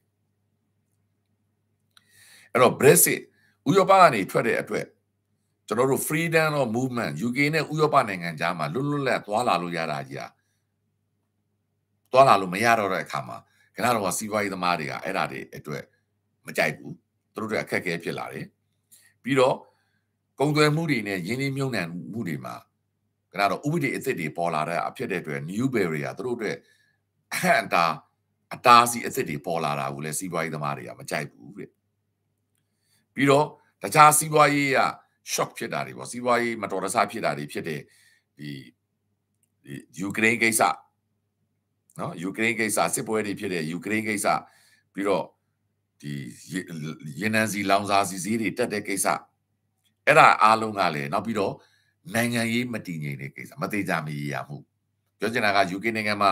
Conservative Party ကနေပြီးတော့ Labour Party အပြောင်းလဲဖြစ်တော့အခါမှာ policy အပြောင်းလဲအဲ့ဒီပေါ်တွေမှာမူတည်ပြီးတော့ ခဏတော့တူးချင်းစဉ်းစားတဲ့တိုင်းပြည်ရဲ့တန်းကျက်တထွေးတွေမြောင်များစွာကထွက်ပြေးသွားကြတယ်တဲ့ UK ကအဲ့ဒီ2010ထဲကနေဝန်ကြီးချုပ်9ယောက်တောင်ပြောင်းသွားတယ်အဲ့ဒါနိုင်ငံရေးမတည်ငြိမ်တာလीအဲ့တော့ဝန်ကြီးချုပ်9ယောက်ပြောင်းသွားတာဖြစ်တဲ့အတွက်အဲ့နိုင်ငံရေးမတည်ငြိမ်တဲ့အခါမှာခဏတော့ကတထေးတွေကစိတ်ပူပင်လာကြပြီးတော့ဝန်ကြီးချုပ်တယောက်ပြောင်းရင်ဟိုအဲ့ဒီဝန်ကြီးချုပ်မှဆို45ရက်ပဲခံတဲ့ list stress အောင်ပါသေးတယ်အဲ့တော့အဲ့လိုအပြောင်းလဲဖြစ်တဲ့အခါမှာ UK နိုင်ငံမှာရှိတဲ့ဒီတထေးတွေပြောင်းရွှေ့သွားတာလေအဲ့ကြအချက်တစ်ချက်ပါတယ်တဲ့အဲ့တော့မတိမငြိမ်ဖြစ်နေတာဖြစ်တဲ့အတွက် policy ချတဲ့လူတွေကတိုင်းပြည်ရဲ့စီးပွားရေးကိုတည်ငြိမ်အောင်နဲ့တိုးတက်အောင်လုပ်ဖို့အတွက်အခက်အခဲတွေဖြစ်လာပြီးဒီရင်းနှီးမြှုပ်နှံမှုတွေအလွန်ကောင်းမွန်တဲ့ပတ်ဝန်းကျင်တစ်ခုကိုဖန်တီးဖို့အတွက်အခက်အခဲတွေဖြစ်လာတာလေကနတော့ထွက်ပြေးသွားတဲ့ထွက်ပြေးတော့ဆုံးဖြတ်လိုက်တဲ့တထေးများအတွက်မီလီယံနာများအတွက်သူတို့ထည့်စဉ်းစားတဲ့အချက်တစ်ချက်ပဲတဲ့ အခုကကြတော့ပို့ပြီးတော့ဒီသူတို့အတွက် new risk ပေါ့သူတို့အတွက် annual အသစ်တစ်ခုပေါ်လာတယ်အဲ့ဒါကဘာလဲဆိုတော့ key stammer ဆိုတဲ့ labor party ကနေတာဝန်ကြီးချုပ် rishi sunak ရဲ့ conservative party ကိုနိုင်မှုအတွက်20ရာခိုင်နှုန်းဆိုတဲ့ဒီစစ်တမ်းများအရသူကရှေ့ကနေ20ခိုင်နှုန်းအသာနဲ့ပြေးနေတာဖြစ်တဲ့အတွက်လက်ရှိပိုးတွေပေါ့နော်စစ်တမ်းရဖြစ်နေတာဖြစ်တဲ့အတွက်စီးပွားရေးသမားတွေအားလုံးနောက်တော့ရင်းနှီးမြှုပ်နှံတဲ့သူများအားလုံးနောက်ပြီးတော့ စီးပွားရေးတည်ငြိမ်မှုစီးပွားရေးတိုးတက်မှုတွေအားလုံးကိုသူကတော့ရအောင်လုပ်မယ်ဆိုပြီးဂတိကူဝပေးထားပြီးတော့နော်စီးပွားရေးကိုသူကမလုပ်မယ်စီးပွားရေးသမားတွေကရင်းနှီးမြှုပ်နှံသူတွေကစီးပွားရေးတည်ငြိမ်မယ်လို့လည်းဂတိပေးထားမှုကောပြီးတော့တိုင်းပြည်ရဲ့အာတေချာတိုးတက်လာအောင်သူလုပ်မယ်ဆိုတဲ့ဂတိကဝတ်တွေနဲ့လာမယ့်ရွေးကောက်ပွဲကိုကြည့်ပြီးတော့လူတွေကပို့ပြီးတော့ထွက်ပြေးခြင်းစိတ်တွေပေါ်လာကြတယ်တဲ့အဲ့ဒီစတမ်မာပါတီနဲ့သူ့ရဲ့ ဒီဘန်နာရေးဆိုင်ရာပြောဆိုခွင့်ရှိသူမဆာရာချယ်ရီကတော့အဲ့ဒီလူကငကိုရဲဘန်တော့အင်္ဂလန်မှာလှုပ်လှုပ်ခဲ့တဲ့လူကတော့ဗာပြောလဲဆိုရင်သူကတော့ income tax တွေအယောင်းအဲ့တော့လူတွေရဲ့တူးချင်းဝင်ငွေအခွန်ပေါ့နော်ကိုယ့်ရဲ့ဝင်ငွေအခွန်တွေပုဂ္ဂလိကတူးချင်းဝင်ငွေခွန်တွေအယောင်းခွန်တွေကိုတော့မတက်ပါဘူးလို့သူကမတိုးပါဘူးလို့ဂရိဝတ်ပေးထားတယ်ပြီးတော့ဒီဆုနဲ့ government မှာဦးလက်ရှိ လက်ရှိဒီဆုနဲ့ရဲ့အစိုးရကချမှတ်ထားတဲ့ဗန္ဒာရေးဆိုင်ရာ policy တွေကိုလည်းသူကဆက်လက်ပြီးကျင့်သုံးပါမယ်လို့ဂတိပေးထားပေမဲ့လည်းမီလီယံနာတွေကအဲ့ဒါကိုစိုးရိမ်ပြီးထွက်ပြေးကြတာတဲ့အဲ့တော့ Labor Party ကဘာဟို test ကိုတော့20ရန်ကုန်မဲ့ထားမယ်အဲ့ဒီကလည်းပို့ပြီးတော့ပို့မကောက်ဘူးလို့ဂတိကိုပေးထားတယ်ဒါပေမဲ့ private school တွေရတယ်20ရာခိုင်နှုန်း test တွေကိုမကောက်ဘူးဆိုတာကိုလှုပ်ထားတာတွေအားလုံးကိုတော့ဖျက်သိမ်းမယ်လို့ပြောထားတယ်ပြောချင်တာ private school တွေမှာအရင်တော့အခွန်ကို short ပေးထားတယ် private school တွေ private school တွေပုဂ္ဂလိကကျောင်းတွေကဟိုဒီအခွန်ကိုသူက20ရာခိုင်နှုန်းပေးစရာမလို short ပေးထားတယ်ဘာလို့လဲဒါပညာရေးကဏ္ဍဖြစ်တာဖြစ်ပြီးတော့အဲ့ဒါကိုအကြောင်းပြပြီးတော့စုနဲ့အစိုးရကအဲ့ဒါကိုအခွန် short ပေးထားတာကိုလေဘာကအဲ့ဒီ private school တွေလည်းစီးပွားရေးလုပ်ငန်းဖြစ်တဲ့အတွက်အခွန်ပြန်ပေးရမယ်ဆိုတဲ့အပြောင်းလဲတွေ လုပ်မယ်လို့ပြောဆိုထားတာတွေအရေးကြီးဆုံးအချက်ကတော့လူဖို့ဖြစ်နေတာအဲ့ဒီလူဟိုဒီ non dom residence အဲ့ဒါကျွန်တော် live တစ်ခုမှာပြောဥပါတယ်ယူကရိန်းနိုင်ငံမှာလာပြီးစီးပွားရေးအခြေချတယ်မြန်မာဥတေစာပေါ့ဥတေစာပေါ့မြန်မာနိုင်ငံသားဒါပေမဲ့ UK နိုင်ငံမှာသူစီးပွားရေးလာလုပ်တယ်သူ့ရဲ့ဘီလီယံနာနဲ့ဒေါ်လာသန်း100နဲ့ ဒါပေမဲ့သူဒီ UK နိုင်ငံသားမဟုတ်တာဖြစ်တဲ့အတွက်အဲ့ဒီမြန်မာနိုင်ငံမှာလည်းသူစီးပွားရေးရှိတဲ့စီးပွားရေးရှိတယ်နော် UK မှာသူရှာတဲ့ပတ်စံကိုတော့ UK ကဝင်ငွေရသူကအခွန်ပေးရမယ်ဒါပေမဲ့ဥတေဇကမြန်မာနိုင်ငံမှာသူစီးပွားရေးတွေဆက်ရှိနေတာဖြစ်တဲ့မြန်မာနိုင်ငံကနေရလာတဲ့စီးပွားရေးရအမျက်ငွေတွေဥပမာဒေါ်လာတန်း100ရှိတယ်ဆိုရင်သူဒီ UK နိုင်ငံမှာ resident အနေနဲ့နေပေမဲ့လေမြန်မာ passport ကင်ထားပေမဲ့လေမြန်မာနိုင်ငံကရလာတဲ့ဝင်ငွေဒီသူဒီအခွန်ပေးစရာမလို အဲ့ဒါကို non dom resident ဆိုပြီးတော့သူတို့ဥပဒေလုပ်ထားတယ် non resident ပြောချင်တာကကျွန်တော်တို့ UK နိုင်ငံသားတယောက်ဟာ UK မှာစီးပွားရေးလုပ်တယ် UK မှာဝင်ငွေရရင်လည်းအခွန်ဆောင်ရတယ်ကျွန်တော်မြန်မာနိုင်ငံမှာစီးပွားရေးသက်လုပ်တယ်ဆိုရင်လည်းမြန်မာနိုင်ငံရတဲ့ဝင်ငွေကိုလည်းအခွန်ဆောင်ရတယ် UK နိုင်ငံသားအဲ့တော့ UK နိုင်ငံသားတယောက်ကဘယ်နိုင်ငံမှာအခွန်ဝင်ငွေရရတကဘာလုံးမှာကြိုက်တဲ့ကဘာမှာနိုင်ငံမှာအမြတ်ရရအခွန်ဆောင်ရမယ် ဒါပေမဲ့ UK နိုင်ငံသားမဟုတ်ဘဲနဲ့ UK နိုင်ငံမှာ permanent resident တို့လည်းအမြဲတမ်းနေထိုင်ခွင့်နဲ့လာနေထိုင်တဲ့အဲ့နိုင်ငံသားတွေဟာ UK နိုင်ငံမှာသူရှာတဲ့စီးပွားရေးဥမာသူကုန်တိုက်တွေဝယ်ထားတဲ့စီးပွားရေးလုပ်လို့အဲ့ဒီရအဲ့ဒီရတဲ့အမျက်ကိုတော့အခွန်ပေးရတာမှန်တယ်ဒါပေမဲ့သူဒီမြန်မာနိုင်ငံမှာဟောက်ဟောက်ကောင်းနိုင်ငံမှာစင်ကာပူနိုင်ငံမှာစီးပွားရေးလုပ်ပြီးရလာတဲ့အမျက်တွေကိုတော့ UK နိုင်ငံအတွက်ခွန်ပေးစရာမလိုဘူးပြောချင်တာအဲ့လိုနီးနဲ့တထေးတွေက UK နိုင်ငံမှာလာပြီးအခွန်ရှောင်နေကြတာ အဲ့ဒီထဲမှာဘသူကိုယ်တိုင်ပါလဲလက်ရှိဝန်ကြီးချုပ်မက်ဆာရီရှီဆူနက်ကိုယ်တိုင်ပါတယ်သူ့ရဲ့မိန်းမကိုယ်တိုင်ပါတယ်အထူးသဖြင့်သူ့ရဲ့မိန်းမဆိုရင်အိန္ဒိယပါဆို UK နိုင်ငံသားမဟုတ်အိန္ဒိယနိုင်ငံသားအဲ့တော့သူ့အဖေကအိန္ဒိယမှာဘီလန်နာတထေးဖြစ်တယ် Infotech ဒီ IT ပညာပိုင်းနေအဲ့တော့သူ့အဖေရဲ့သူ့အဖေကတထေးဖြစ်တာဖြစ်တော့သူ့သမီးကို share တွေပေးထားတယ် အဲသူသမီးရှယ်ယာကသူ့ဖေရဲ့အိန္ဒိယမှာရှိတဲ့ကုမ္ပဏီရဲ့ဒေါ်လာနဲ့တွက်ရင်ဒေါ်လာသန်း900နီးပါးတန်ဖိုးရှိတဲ့ရှယ်ယာသူ့မှာရှိတယ်အဲ့တော့အဲ့ဒီ Infotech ကုမ္ပဏီရဲ့ရတဲ့အမြတ်ငွေတွေကနေသူ့သမီးကလည်းသူ့ရှယ်ယာအရအမြတ်ရနိုင်မယ်အဲ့ဒီအတွက်သူဒီ UK နိုင်ငံမှာအခွန်ဆောင်စရာမလိုဘူးတခါအဲ့ Nandam residency အရာမက်ဆာအဲ့ဒီကတော့ဝန်ကြီးချုပ်မက်ဆာရီရှီဆူနဲ့ရဲ့ မိမလက်ရှိ first lady ပေါ့ကျွန်တော်တို့ UK နိုင်ငံမှာလက်ရှိဝန်ကြီးချုပ်ရဲ့မိမကတော့ဟာ first lady က fashion company တွေလည်းအများကြီးပိုင်တယ်ဘယ်မှာပိုင်တယ်လဲအဲ့ဒီ fashion company အိန္ဒိယမှာလုပ်တာလားဒီမှာလုပ်တာလားမဟုတ်အဲ့ဒီကအမျက်ငွေတွေကိုလည်းအခွန်ဆောင်ရမှာအဲ့ဒီဥပဒေကိုလက်ရှိလက်ရပါတီ conservative ကပြထားတာဒါကြောင့် UK နိုင်ငံမှာနေတဲ့ resident တယောက်အနေနဲ့အဲ့ဒါမျိုးတထေးတွေကိုအခွန်ရှောင်တဲ့ဥပဒေတွေလုပ်ပေးထားတာဖြစ်တဲ့အတွက်တိုင်းပြည်ကရမယ့်အခွန်ငွေတွေကဘီလီယံနဲ့ချီပြီးဆုံးရှုံးနေတယ်ဆိုပြီးလေဘာကတစ်ချိန်လုံးထောက်ပြနေတာ အဲ့လိုနွန်းတွန်းကိုအခုလက်ရှိ conservative party ဆက်လင်းနဲ့အုပ်ချုပ်တဲ့အချိန်မှာဝန်ကြီးတွေဖြစ်သွားတယ်နော်လွှတ်တော်အမတ်တွေအားလုံးဒီအဲ့ဒါမျိုးတွေနဲ့အကုန်ပတ်သက်နေတာအကုန်တထေးတွေကြီးပဲကိုတလောကစီးပွားရေးဝန်ကြီးလုပ်သွားတဲ့လူတွေအဲ့လူတွေအားလုံးဒီဘီလီယံနာတွေမီလီယံနာတွေသူတို့တွေအားလုံးဒီတန်းရာနဲ့ကြီးချမ်းသာပြီးသူတို့မိသားစုတွေချမ်းသာတဲ့စီးပွားရေးတွေဥပမာ offshore တွေမှာသူတို့ရင်းနှီးမြှုပ်နှံမှုလားရင်းနှံတွင်းဆိုမှာအဲ့ဒီမျိုးဥစ္စာတွေကသူတို့ဒီ UK နိုင်ငံသားမဟုတ်ဘူးဖြစ်တဲ့ non residency တွေနဲ့ သူတို့မိဘတွေကအဲ့လိုအခွန်တွေရှောင်နေရတယ်အဲ့ဒါတွေအားလုံးဟာဒီနိုင်ငံမှာရှိတဲ့ tax loophole ပေါ့ဘယ်လိုပြောမလဲအခွန်နှိပ်ပံပုံဖြစ်နေတယ် loophole ဖြစ်တဲ့အတွက်ဘယ်လိုပြောမလဲအားနည်းချက်တွေယိုပေါက်တွေဖြစ်နေတာကိုလေဘာကထောက်ပြပြီးလေဘာကအဲ့ဒါကိုပြင်မယ်လို့ပြောပြီးသားအဲ့ဒီရရတဲ့ပတ်စံနဲ့ပြည်သူတွေကိုသူကဝန်ဆောင်မှုပေးမှာအဲ့ဒါကြောင့်အဲ့လို non residency တွေနဲ့ UK နိုင်ငံမှာအခွင့်အရေးရနေတဲ့နိုင်ငံသားသား တန်းကျွေတထေးမီလန်နာတထေးတွေအမြောက်အများဟာအခုဥပဒေပြင်တော့မှာဖြစ်တဲ့အတွက်ထွက်ပြေးတော့မှာပြောချင်တာကအဲ့ဒီအခွန်ပေးရင် तू တန်း20ပေးရမယ်အဲ့ဒေါ်လာတန်း20ကို तू ကဘာမှမအဲ့ဒီပတ်စံကိုမပေးဘဲနဲ့ तू က resident ပေါ့ကိုယ့်ရဲ့အိမ်လိပ်စာပေါ့ဘာမှလို့ပြောရင်အိမ်လိပ်စာပြောင်းမယ်သကောင်စင်းပြောင်းမယ် UK သကောင်စင်းလန်ဒန်သကောင်စင်းကနေစင်ကာပူသကောင်စင်းတပ်ပြောင်းမှာအဲ့လိုတန်း20အိတ်တည်းရလာမယ်အိတ်တန်း20နဲ့စင်ကာပူမှာဇိန်နဲ့သွားနေလို့ရတယ်ဒါမျိုးတို့ကစဉ်းစားတာ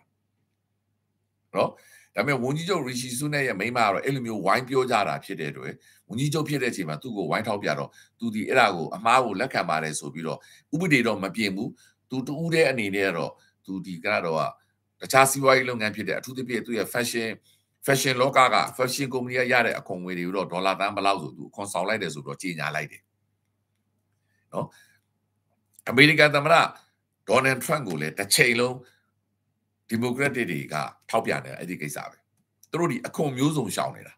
အဲဒေါ်နယ်ထရန့်ဒီဒါကြောင့်ဒေါ်နယ်ထရန့်ရဲ့အခွန်နဲ့ပတ်သက်ပြီးဟိုတလောကထုတ်ပြန်တဲ့အချိန်မှာဟိုတချို့နှစ်နေမှာဆိုရင်တောင်းကလေးတော့အခွန်ဆောင်ထားတာမတွေ့ရဘူးဒါမျိုးတွေပေါ့ဒါကိုပြောချင်တာအဲ့ဒါကိုဒီဘက်ကထိန်းချုပ်မှာအဲ့ဒီ non non residency ကို protection ကာကွယ်ပေးထားတာကိုလေဘာကဥပဒေပြင်တော့မယ်လို့ပြောနေတာဖြစ်တဲ့အတွက်အဲ့ဒါမျိုးကနေအခွင့်အရေးရနေတဲ့တထေးတွေကထွက်ပြေးသွားမှာ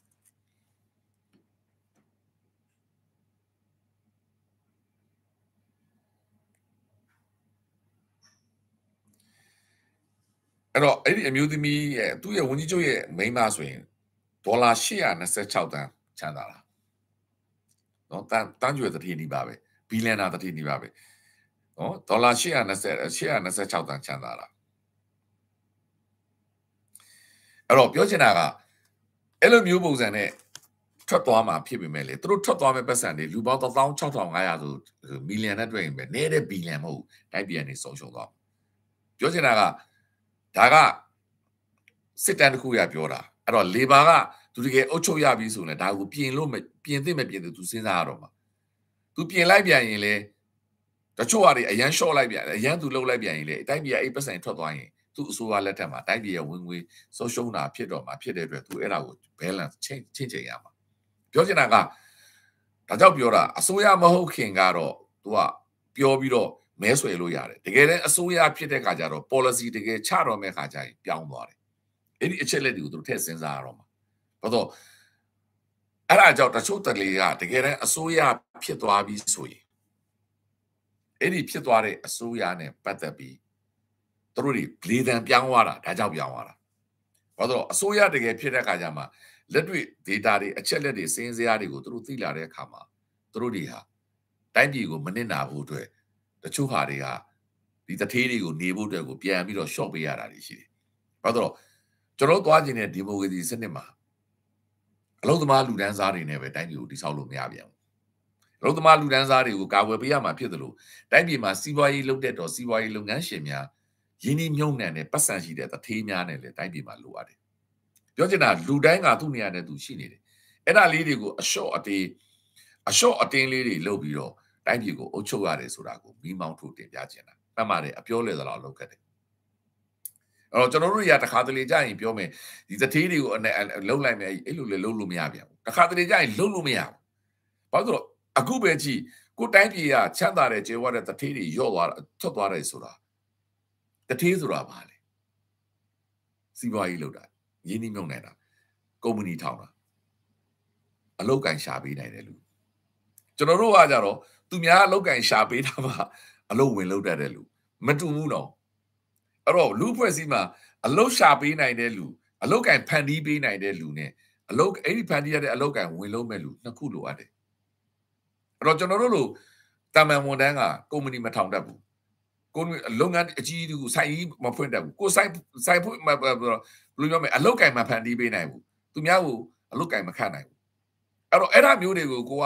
အာမင်းတို့ကြီးပဲတထေးတွေကမတရားလုပ်နေတယ်ဆိုပြီးအကုန်လုံးမောင်းထုတ်လိုက်ပြီး socialist communist ဝါဒတွေနဲ့အကုန်လုံးတိုင်းပြည်ကိုစံပြုတ်တောက်ခိုင်းလိုက်တဲ့အခါမှာအကုန်လုံးဘာဖြစ်မလဲအလောက်ကင်ဖန်တီးပေးနိုင်တဲ့ပညာရှင်တွေအရက်သားတွေမရှိတဲ့အခါကျမှအစိုးရကအကုန်လုံးတမအောင်မစနစ်ဘာစနစ်လုပ်တဲ့အခါမှာအဲ့ဒီစနစ်မအောင်မြင်ဘူးဆိုတာကွန်မြူနစ်ဆိုရှယ်လစ်စနစ်ကလက်တွေ့ပြထားပြီးသားတရုတ်နိုင်ငံမှာနောက်ဆုံးတရုတ်နိုင်ငံကအဲ့ဒါသိတဲ့အတွက်မရတော့ဘူးအရေးရှင်ဆန်ဆန်စီးပွားရေးလုပ်ငန်းတွေတူထောင်မကိုရမှာလူဖွဲ့စီမှာ အဲ့တော့ကျွန်တော်လည်းဒီတိုင်းပဲမြန်မာနိုင်ငံမှာအားလုံးတထေးတွေမရှိတော့ဘူးဆိုရင်ကုမ္ပဏီထောင်မဲ့လူမရှိတော့ဘူးဆိုရင်ကျွန်တော်တို့ရနေတဲ့အလုပ်ကိုင်တွေဘယ်သူကဖန်တီးပေးမှာလဲအဲ့တော့လူတယောက်တယောက်ရဲ့ intuition လို့ခေါ်မှာပေါ့သူရဲ့တီထွင်နိုင်အားသူရဲ့သိနိုင်အားသူရဲ့ဖန်တီးနိုင်အားတယောက်နဲ့တယောက်မတူဘူးမတူတဲ့ခါကျတော့အဲ့ဒီတယောက်နဲ့တယောက်ရဲ့မတူတဲ့အခွင့်မတူတဲ့အားသာချက်တွေကနေပြီးတော့တိုင်းပြည်မှာအကျိုးရှိမှာအဲ့တော့ ဒီတထေးတွေကိုလည်းကျွန်တော်တို့ကမိခိုးအောင်ပါအဲ့ဒီတထေးတွေက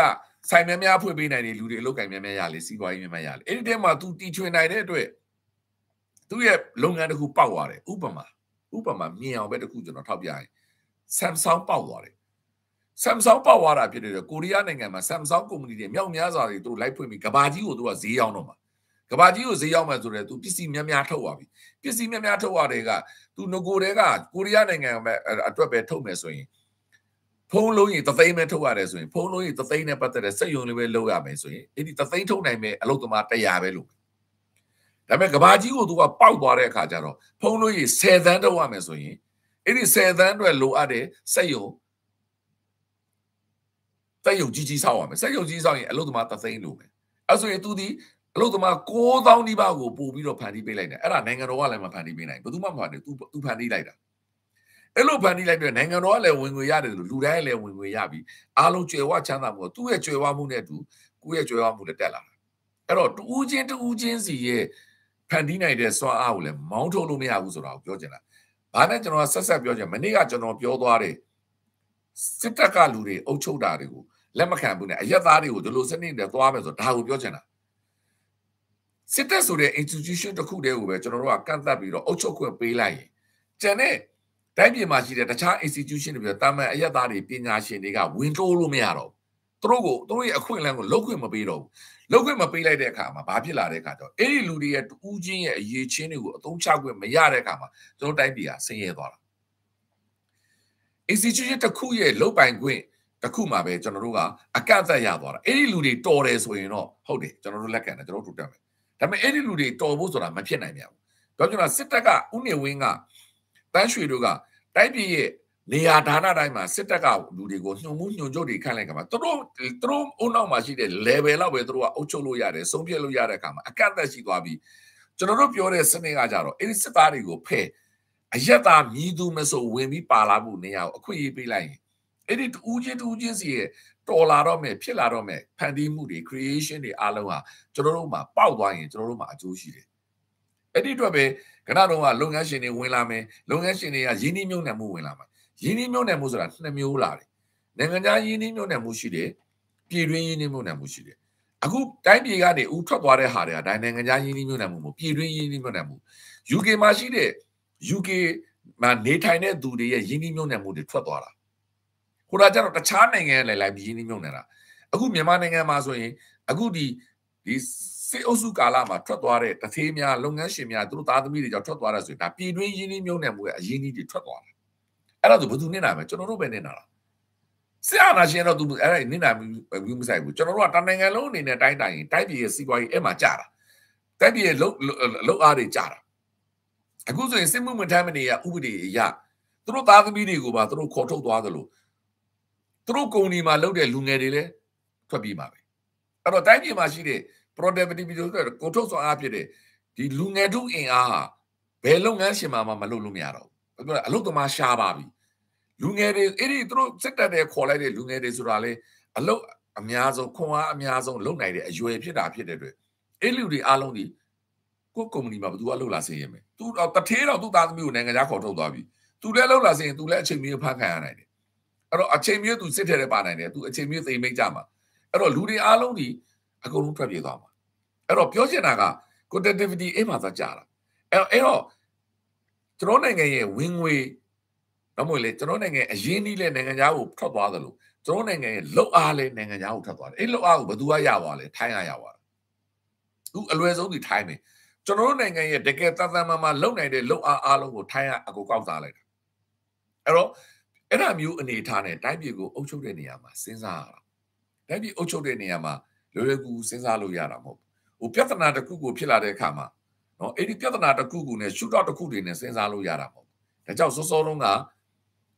ဒီရခိုင်ရေးနဲ့ပတ်သက်ပြီးလာရောက်မေးနေတဲ့နှစ်ယောက်လုံးကိုကျွန်တော်ကဘလောက်မလုပ်လိုက်ဘူးကျွန်တော်ရမှုလုပ်လိုက်တာကျွန်တော်ဒီအကြောင်းပြောတဲ့အချိန်မှာလာပြီးနှောက်ရှက်နေတာသူတို့ပြောတဲ့ကိစ္စကဒီအဲ့ဒီကန်ကန်ရှင်နေတဲ့ဆိုင်တာကျွန်တော်နဲ့မဆိုင်ဘူးကျွန်တော်အဲ့ဒါကိုဘာမှသုံးသပ်စရာမရှိဘူးရခိုင်ရေးနဲ့ပတ်သက်ပြီးကျွန်တော်အများကြီးပြောထားပြီးသားရှုထောင့်မျိုးစုံကနေကျွန်တော်တင်ပြထားပြီးသားကျန်တဲ့ကိစ္စဟာ ဖြစ်လာတော့မယ့်အနေအထားကိုပဲကြည့်ရမှာဒါပေမဲ့ပြောတဲ့နေရာမှာပြောတဲ့ရှုထောင့်ကိုပဲစဉ်းစားလို့ရတယ်နော်ကျွန်တော်ပြောသလိုရှုထောင့်မျိုးစုံရှိတယ်ရှုထောင့်မျိုးစုံရှိတယ်အခုဒီကိစ္စလေးဒီသေးသေးလေးတို့ထင်ပြရပေမဲ့လေဒါကြောင့်ဒီနိုင်ငံမှာတို့သတင်းတွေသေချာရေးနေတာဒါဒီ UK နိုင်ငံရဲ့နေတာဘာကြောင့်လဲ policy အမှားတို့ဒီမဟုတ်ဥပဒေအမှားတို့ဒီမဟုတ်နိုင်ငံရေးသဘောတဘာဝရဲ့အမှားပြောချင်တာကလက်ရဆိုရင်တို့တတိတွေကိုအကုန်ရှော့မယ် ဒါအကြမ်းပြင်းလက်ဝဲတက်တဲ့ labor တွေပါကြီးတက်မယ်ဆိုရင်အလုပ်သမားအခွင့်အရေးနဲ့ပြည်သူတွေဝန်ဆောင်မှုပေးမယ်အင်းတို့ကို balance လုပ်နေတာဒါဆိုရင်လက်ရကတော့ပြည်သူဝန်ဆောင်မှုမပေးဘူးလားပေးတယ်ပြည်သူပြည်သူဘာလို့တထေးတွေအခွန်ရှော့လိုက်တာဖြစ်တဲ့အတွက်သူရဲ့ဝင်ငွေရော့သွားတဲ့အခါမှာပြည်သူတွေကိုပေးနေတဲ့ဝန်ဆောင်မှုတွေကိုသူရှော့ပစ်တယ်ဒါကြောင့်အဲ့ဒါကဘယ်လောက်ထိမှန်လဲဆိုရင် conservative ဘက်ဒါဒီ14 14နှစ်အုပ်ချုပ်သွားတဲ့အချိန်မှာကျောင်းဆရာဆရာမတွေအသိမခံဘူး ရဲဌာနတွေအားလုံးဖြစ်စီပြီးရဲဝန်ထမ်းပေါင်း2000ကျော်ကိုကတ်လုပ်ပလိုက်တယ်အလုပ်ထုတ်ပလိုက်တာမြို့နယ်ရဲစခန်းတွေအားလုံးအသေးတွေအကုန်ပိတ်ပလိုက်တာသူကသူ့ရဲ့အကြောင်းပြချက်ကချိုးကြံချွေတာကြီးဒါပေမဲ့သူ့ရဲ့အကြောင်းပြချက်ဒီအလွန်အမတန်ကြားလို့ကောင်းတယ်တိုင်းပြည်ကအကျွေးများနေတာဖြစ်တဲ့ချိုးကြံချွေတာကြီးလုပ်တယ်ဒါပေမဲ့ချိုးကြံချွေတာကြီးအတွက်ဆိုပြီးတော့ပြည်သူရဲ့ပြည်သူတွေသုံးတဲ့ budget ကို short လိုက်ပြီးသူ့တထေးတွေကြတော့အခွန် short ပေးလိုက်တယ်ချိုးကြံချွေတာကြီးဆိုရင်အဲ့တထေးတွေကပို့ပြီးတော့ပြည်သူအခွန်ပေးရမှာမဟုတ်ဘူးလားအဲ့တော့ သူပြောတဲ့ချိုးကြံချွေတာရေးဆိုတာသူတထေးတွေအတွက်တော့ကောင်းတယ်ပြည်သူတွေအတွက်ခံရတာတခါ၄ပါ၄ပါကြတော့ okay မင်းတို့ချိုးကြံချွေတာရေးငါတို့မလုပ်ဘူးငါတို့ဒီအခွန်တွေပြည်သူရဲ့အခွန်တော့မကောက်ဘူးတထေးအခွန်ကိုကောက်မယ်အဲ့တော့ငါတို့ဒီပြည်သူပတ်စံပုံသုံးမယ်ဆရာမတွေပုံခါမယ်ဆရာဝန်တွေပုံခါမယ်ပြည်သူရဲတွေပုံခတ်မယ်လုံခြုံရေးတွေပုံလုပ်ပေးမယ်ဒါပေမဲ့အဲ့လိုတဲ့ပတ်စံကိုတို့တထေးတွေရပြန်ပေးမယ်အဲ့ဒါကြောင့်၄ပါကကြတော့လေ तू ပြောတာကတော့တထေး तू ပြောတာကကြတော့ तू ပြောတာကကြတော့ပြည်သူတွေအတွက်ပို့လုပ်ပြီးမှမှန်တယ်တထေးတွေကို तू ကအဲ့လိုအခွန်ရှောင်တဲ့ကိစ္စကိုပိုကောက်လိုက်မှဖြစ်တယ်တထေးတွေတိုက်ပြည်ကထွက်သွားမယ်တထေးတွေတိုက်ပြည်ကထွက်သွားရင်တိုက်ပြည်ကပြန်နေတာပြန်အောင်အဲ့ဒါဆိုလေဘာကလည်းလောကခတ်ပြန်အောင်လေဘာပြောတာလည်းမမှန်ပြန်ဘူးအဲ့ဒီနှစ်ခုကိုလက်ဝဲနဲ့လက်ရကိုကျွန်တော်တို့က balance လုပ်နေတာဟာကျွန်တော်တို့သွားကျင်တဲ့ democracy ပဲအဲ့တော့ကျွန်တော်သွားကျင်တဲ့ democracy မှာကျွန်တော်သွားကျင်တဲ့အယက်သားအုပ်ချုပ်ရေးဆိုအဲ့ဒါမျိုးစဉ်းစားရတာရှိတယ်အဲ့ဒါမျိုးကိုကျွန်တော်ကမိမောင်းထိုးပြီးတင်ပြပေးလိုက်ချင်တာ နော်မိမောင်းထိုးပြီးတင်ပြပေးလိုက်ချင်တာလူတယောက်ရဲ့ပြောဆိုတဲ့သုံးသက်ချက်ကိုနောက်လူတယောက်ကျွန်တော်အနေနဲ့ဘာမှဝေဖန်စရာအကြောင်းမရှိဘူးအဲ့ဒါကိုကျွန်တော်ပွပွလင်းလင်းပြောတာကျွန်တော်ဒီမိသူတူတယောက်ကိုမှတိုက်ခိုက်လို့တဲ့ရွေးချက်မရှိဘူးအဲ့တော့အဲ့ဒီလူတယောက်ရဲ့ပြောဆိုချက်အေးဟိုလူတယောက်တုတ်ပြန်ချက်ကသူတို့သူတို့သူတို့ဖြေရှင်းရမယ့်ကိစ္စကျွန်တော်ဝေဖန်စရာဘာမှအကြောင်းမရှိဘူးကျွန်တော်ဒီကျွန်တော်ရဲ့အမြင်နဲ့ကျွန်တော်သုံးသက်ချက်ဒီအားလုံးပေါ်မှာသုံးသက်တာပဲရှိတယ်နော် အဲ့ဒါကြောင့်အဲ့ဒီကိစ္စကိုလာမေးတဲ့လူကိုကျွန်တော်စောစောကဘယ်လောက်လုပ်လိုက်တယ်ထပ်ပြီးမေးရင်ကျွန်တော်က sorry remove ပဲလုပ်လိုက်တာပြောချင်တာသူ comment ကိုပဲဖယ်လိုက်တာသူ့ကိုဘယ်လောက်မလုပ်လိုက်ပါဘူးအဲ့တော့နေတူတူကကျွန်တော်ဒီကိစ္စကိုဖြေရှင်းနေစရာအကြောင်းကိုမရှိဘူးတော့သူတို့ကန်ကန်ရှင်တွေဖြေရှင်းပါလိမ့်မယ်နော်သေချာတခုက AED မောင်းတော်ကိုတိုက်ပြီ AED မောင်းတော်ကိုသိရမယ်အဲ့ဒါအပြည့်အဝထောက်ခံတယ်တိုက်ကိုတိုက်ရမှာ ဒီစစ်အာဏာရှင်ရှိနေတဲ့များနယ်မြေအားလုံးကိုကျွန်တော်တိုက်ရမှာမောင်းတော်မှမဟုတ်ဘူးရန်ကုန်မှာလည်းတိုက်ရမှာမြဝတီမှာလည်းတိုက်ရမှာသူတို့ပြောတဲ့မူဆယ်လားမူဆယ်မှာလည်းတိုက်ရမှာစစ်အာဏာရှင်ရှိတဲ့နေရာအကုန်တိုက်ရမှာနော်ဘာချွင်းချက်မှမပါဘူးအဲ့တော့အဲ့လိုတိုက်တဲ့နေရာမှာအဲ့ဒီဒေသမှာရှိနေတဲ့လူတွေအားလုံးရဲ့လုံခြုံရေးအတွက်တော့ဒါထည့်စဉ်းစားမှာအမှန်ပဲအခုလေစစ်အာဏာရှင် စစ်မဖြစ်တဲ့နေရာတွေအမြောက်တွေတူနေတော့ပြေမမှာရှိတဲ့လူတွေအများကြီးဒုက္ခရောက်နေတယ်ပြောချင်တာကတေချာစဉ်းစားဖို့လိုတဲ့တစ်ချက်ကစကိုင်းမှာတော်လိုင်းကြီးလုံနေတာဖြစ်တဲ့အတွက်တော်လိုင်းကြီးမလုပ်တဲ့ရွာတွေကိုစစ်အာဏာရှင်ကမီးရှို့နေတာကတော်လိုင်းရေးသမားတွေကြောင့်မီးရှို့တာလားအဲ့နေရာမှာကျွန်တော်တို့အယူဝါဒစဉ်းစားစဉ်းစားတော့စကိုင်းမှာ တော်လိုင်းကြီးလုံနေတယ်ဟုတ်ပြီနော်တော်လိုင်းကြီးလုံနေလို့စစ်အာဏာရှင်ကပြန်လုပ်တယ်အဲ့တော့တော်လိုင်းစစ်အာဏာရှင်ပြန်လုပ်လိုက်တာဖြစ်တဲ့အတွက်တော်လိုင်းရေးသမားတွေကစစ်အာဏာရှင်ရင်နှန်းကိုတိုက်ခိုက်လိုက်တယ်စစ်အာဏာရှင်ရဲ့စစ်ကြောင်းကိုတိုက်ခိုက်လိုက်သူတို့ဆုံးရှုံးသွားတယ်သူတို့အသက်တွေပေးလိုက်ရတဲ့ခါမှာသူတို့ကဘာဖြစ်မလဲအဲ့တော်လိုင်းရေးသမားတွေရှိနေတဲ့ကျွန်တော် PDF တွေရှိတဲ့နေရာကိုပြန်လာမတိုက်ရတဲ့ခါမှာ PDF မရှိတဲ့သူတို့နိုင်လို့ရမယ်ပြူစောတီးတွေပဲကြီးဆိုးတဲ့နေရာမှာရှိတဲ့ရွာတွေကိုမီးရှို့ပလိုက်တယ်။ ဒါမှမဟုတ်အမြောက်နဲ့လှမ်းထုလိုက်တယ်။အပြစ်မဲ့အရက်သားတွေတိုက်ပွဲမဲ့ဖြစ်ပဲတိတ်ကုန်ကြတယ်။အဲ့လိုဆိုရင်တိုက်ပွဲဖန်ဆီးတဲ့ပြည်သူရဲတွေ PDF တွေကလူမျိုးတုံးတတ်တာလားတကယ်တမ်းအဲ့ဒီပြည်သူတွေကိုတတ်တဲ့ဒီဆက်အာဏာရှင်ကလူမျိုးတုံးတတ်တာလားတိုက်ပွဲရှိလို့မင်းတို့တတိုက်လို့စစ်တပ်ကပြန်လုပ်လို့မင်းတို့မှာအပြစ်ရှိတဲ့ပုံစံနဲ့ပြောလို့ရမလားဒို့ဒီမို့တကယ်တမ်းအပြစ်လုပ်တဲ့စစ်အာဏာရှင်မှာပဲပြစ်ရှိတာ ပြောချင်တာကတိုက်ပွဲရှိတာနဲ့ဘာမှမဆိုင်ဘူးစစ်အာဏာရှင်ကကူကအပြစ်မဲ့တဲ့ပြည်သူတွေကိုမီးရှို့နေတာအမြောက်တဲ့ထုနေတာပဲစစ်အာဏာရှင်ပဲလူမျိုးတုံးတက်ဖြတ်တာစစ်အာဏာရှင်ပဲဒီအဲဘာလို့လို့ခေါ်မလဲစစ်ရာဇဝမှုကျူးလွန်တာအဲ့တော့ဒီစစ်အာဏာရှင်ရဲ့သဘောတရားသည်အပြစ်မဲ့ပြည်သူတွေကိုနေရာတကာမှာဒုက္ခပေးနေတာအဲ့ဒါဒီမြန်မာနိုင်ငံတဝန်းလုံးမှာ ဖြစ်နေတဲ့အနေအထားပါဒါကြောင့်ကျွန်တော်တို့ဒီစက်တိုင်ပါပဲ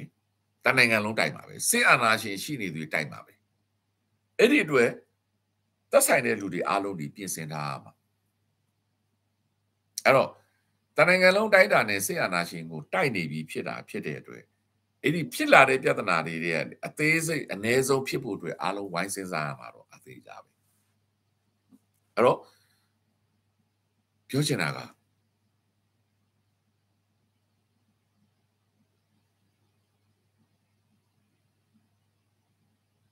ဆီအာနာရှင်ကိုမြမမြင်ကနေအပီမောင်းထုတ်တော့မှဖြစ်တာဖြစ်တဲ့အတွက်အဲ့ဒီဒေတာမှာကိုရက်ကွက်မှာကိုရွာမှာကိုကလူများစုတွေလူနည်းစုတွေခဏဖယ်တာစစ်အာဏာရှင်အုပ်ချုပ်မလာအောင်လက်မခံတာဖြစ်တဲ့အတွက်တိုက်မဲ့လူကလာတိုက်ထုံပါပဲ အဲ့တော့လာတိုက်ထုံတဲ့လူကအဲ့ဒီအဲ့ဒီရက်ကွက်က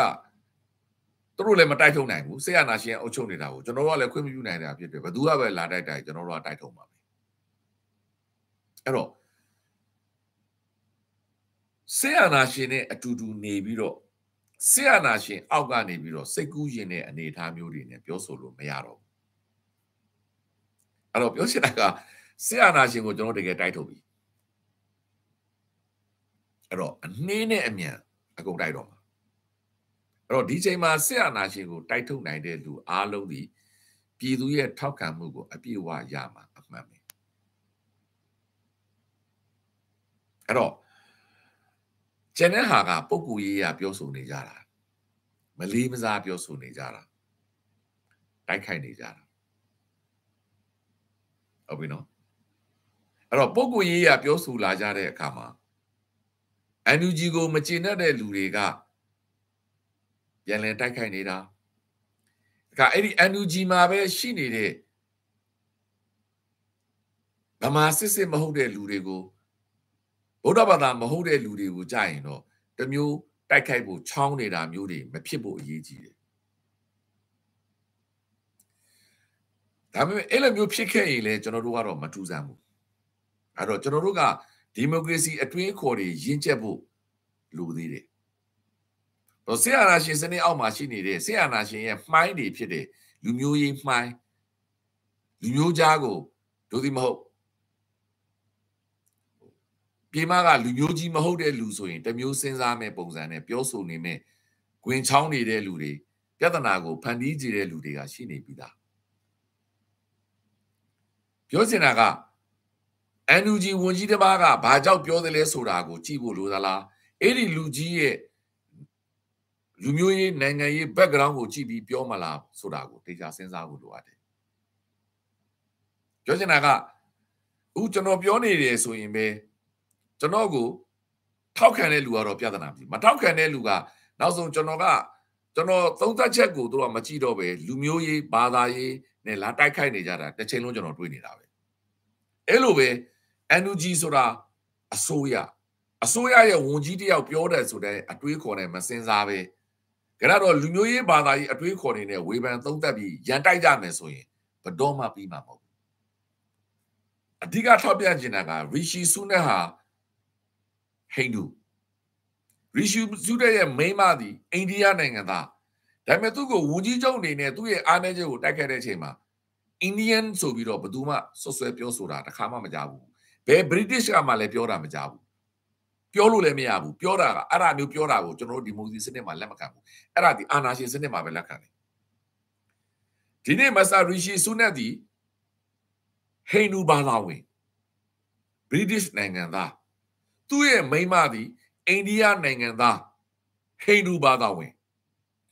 ရီရှီဆူနက်ရဲ့အမှားကိုရီရှီဆူနက်ကိုထောက်ပြခြင်းနဲ့ဆိုရင်ပါတီ policy နဲ့နိုင်ငံရေးသမား policy ရပဲ ရှုတော့ချင်းကပ်ရတယ်သူဒီ Indian ဆိုတဲ့ချင်းတော့ပုံမျိုးဟိန္ဒူဆိုတဲ့ချင်းတော့ချင်းကပ်ပုံကနေဝေဖန်လို့မရဘူးအခုသူတို့ပြောနေတဲ့ကိစ္စဟာ NUG မှာခန့်ထားတဲ့မြည်သူကိုမဆို NUG ရဲ့ဝန်ကြီးတယောက် level နဲ့ပဲစဉ်းစားမယ်ချင်းကိုစားပြုလို့ဒီချင်းကဘာဖြစ်တယ်ဒီကချင်းကဘာဖြစ်တယ်ဒီရိုဟင်ဂျာကဘာဖြစ်တယ်ဆိုပြီးတော့ဝေဖန်လို့မရဘူးအဲ့ဒီချီတောင်းနဲ့ဝေဖန်သုံးသပ်နေတာများအားလုံးကိုကျွန်တော်အနေနဲ့ဘာမှဝေဖန်စရာအကြောင်းမရှိဘူး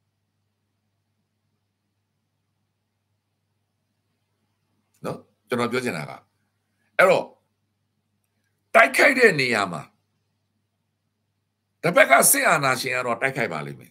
ဒါပေမဲ့ကျွန်တော်တို့ကဝေဖန်သုံးသပ်တဲ့နေရာမှာ NUG ကနေသူ့ဝန်ကြီးလေပဲပေးထားတယ်ဆိုရင်မြမနိုင်ငံရေးသမားရှုထောက်ကနေဝန်ကြီးလေပဲရှုထောက်ကနေပဲ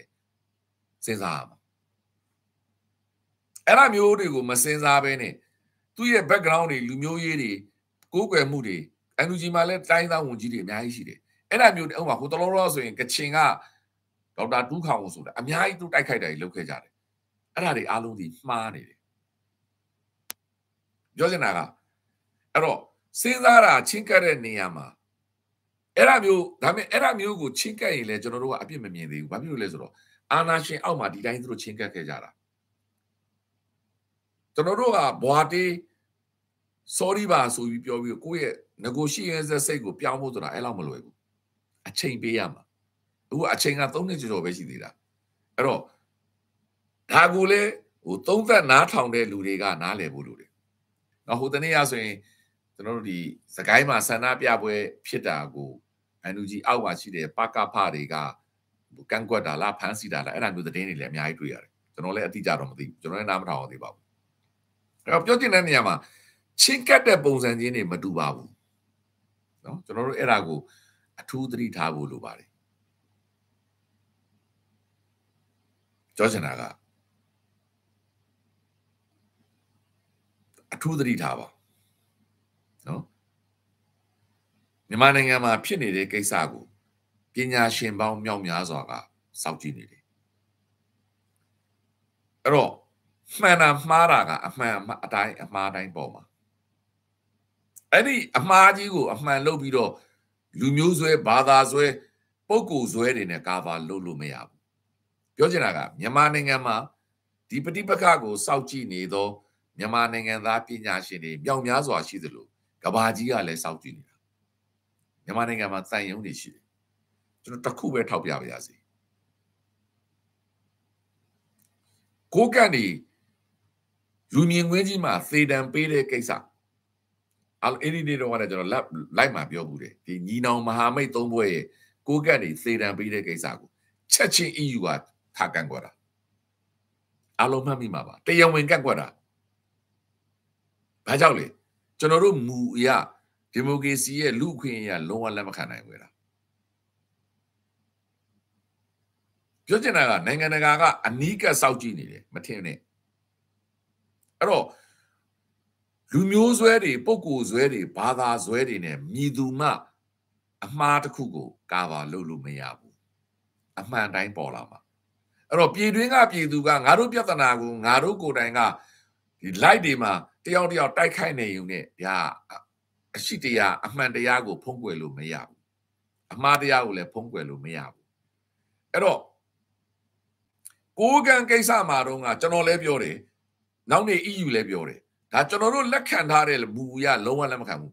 ဒီခေတ်မှာလူမြင်ကွင်းမှာဂဲနဲ့ပေါက်တတ်တာလူမြင်ကွင်းမှာသေတံပေးတာတနက်ပြစ်ပြီးပေးတာကိုကျွန်တော်တို့သွားနေတဲ့လူခွေရင်းနဲ့ကျွန်တော်တို့ပြောင်းကျင်တဲ့သာယာသောလူပောင်ကလုံးဝလက်မခံဘူးသူကသူကိုကန့်ကဘလောက်ပဲစစ်တပ်ကိုနိုင်အောင်တိုက်တိုက်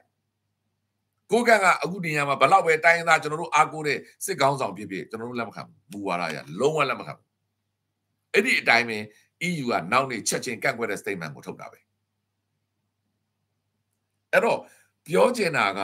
ငါတို့သဘောငါတို့လှုပ်ချင်တာလှုပ်လို့မရဘူးအမှန်တရားဆိုတာရှိတယ်နိုင်ငံတကာကဥပဒေတွေနဲ့အုပ်ချုပ်နေတာနိုင်ငံတကာဒီဥပဒေနဲ့သွားနေတာကျွန်တော်တို့သွားနေတဲ့ဒီမိုကရေစီဆိုတာတရားဥပဒေစိုးမိုးမှုနဲ့ဥပဒေအတိုင်းလုပ်တာကအဓိကကြတာဒါကြောင့်ကျွန်တော်တို့ဒီစစ်တေတွေများကျင့်မှုတွေ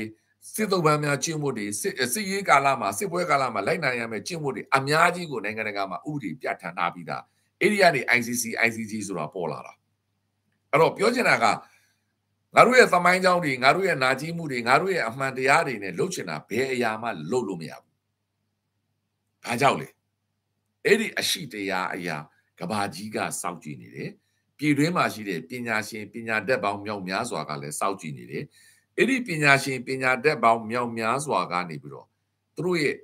တိုင်းပြည်ပေါ်မှာပေးဆက်မှုသူတို့ရဲ့သုံးချမှုသူတို့ရဲ့ contribution ခေါ်တာပေါ့။အဲ့ဒီကနေပြီးတော့တိုင်းပြည်ဒီအကျိုး အကျေးဇူးတွေအများကြီးရရှိလာတာဖြစ်တဲ့အတွက်ဒါကြောင့်ကျွန်တော်တို့ဒီအယက်သားပညာရှင်တွေဒီအားလုံးပါဝင်တဲ့နိုင်ငံအရွေးကိုပဲလိုချင်နေဆိုတာကိုမနေ့ကဒါကြောင့်ကျွန်တော်ဒီရှင်းပြပြီးသွားတာဖြစ်ပါတယ်။ဒါကြောင့်တူးချင်းတူးချင်းစီရဲ့ကိစ္စပုံကိုရေးဝေဖန်ဖို့တိုက်ခိုက်ဖို့တော့ဟိုတယောက်ကဝေဖန်တာကိုကျွန်တော်ကပြန်လဲဝေဖန်ဖို့ကျွန်တော်အလုပ်မဟုတ်ပါဘူး။အဲကြောင့်အဲ့ဒါမျိုးမေးခွန်းတွေကိုလာမေးတဲ့လူများအားလုံးကို remove လုပ်တယ်သူသိမဟုတ်ဘယ်လောက်လုံးမှာပါပြောချင်တာကပွဲဆူအောင်မလုပ်ပါနဲ့လူတိုင်းလူတိုင်းအမှန်တရားရှိတယ်လူတိုင်းလူတိုင်းသူတို့လုပ်ကိုသူတို့လုပ်နေကြတယ်ဒါကိုပဲမိမောင်းထုတ်တင်ပြပေးချင်ပါတယ်ဒီစုအများကြီးတင်ပါတယ်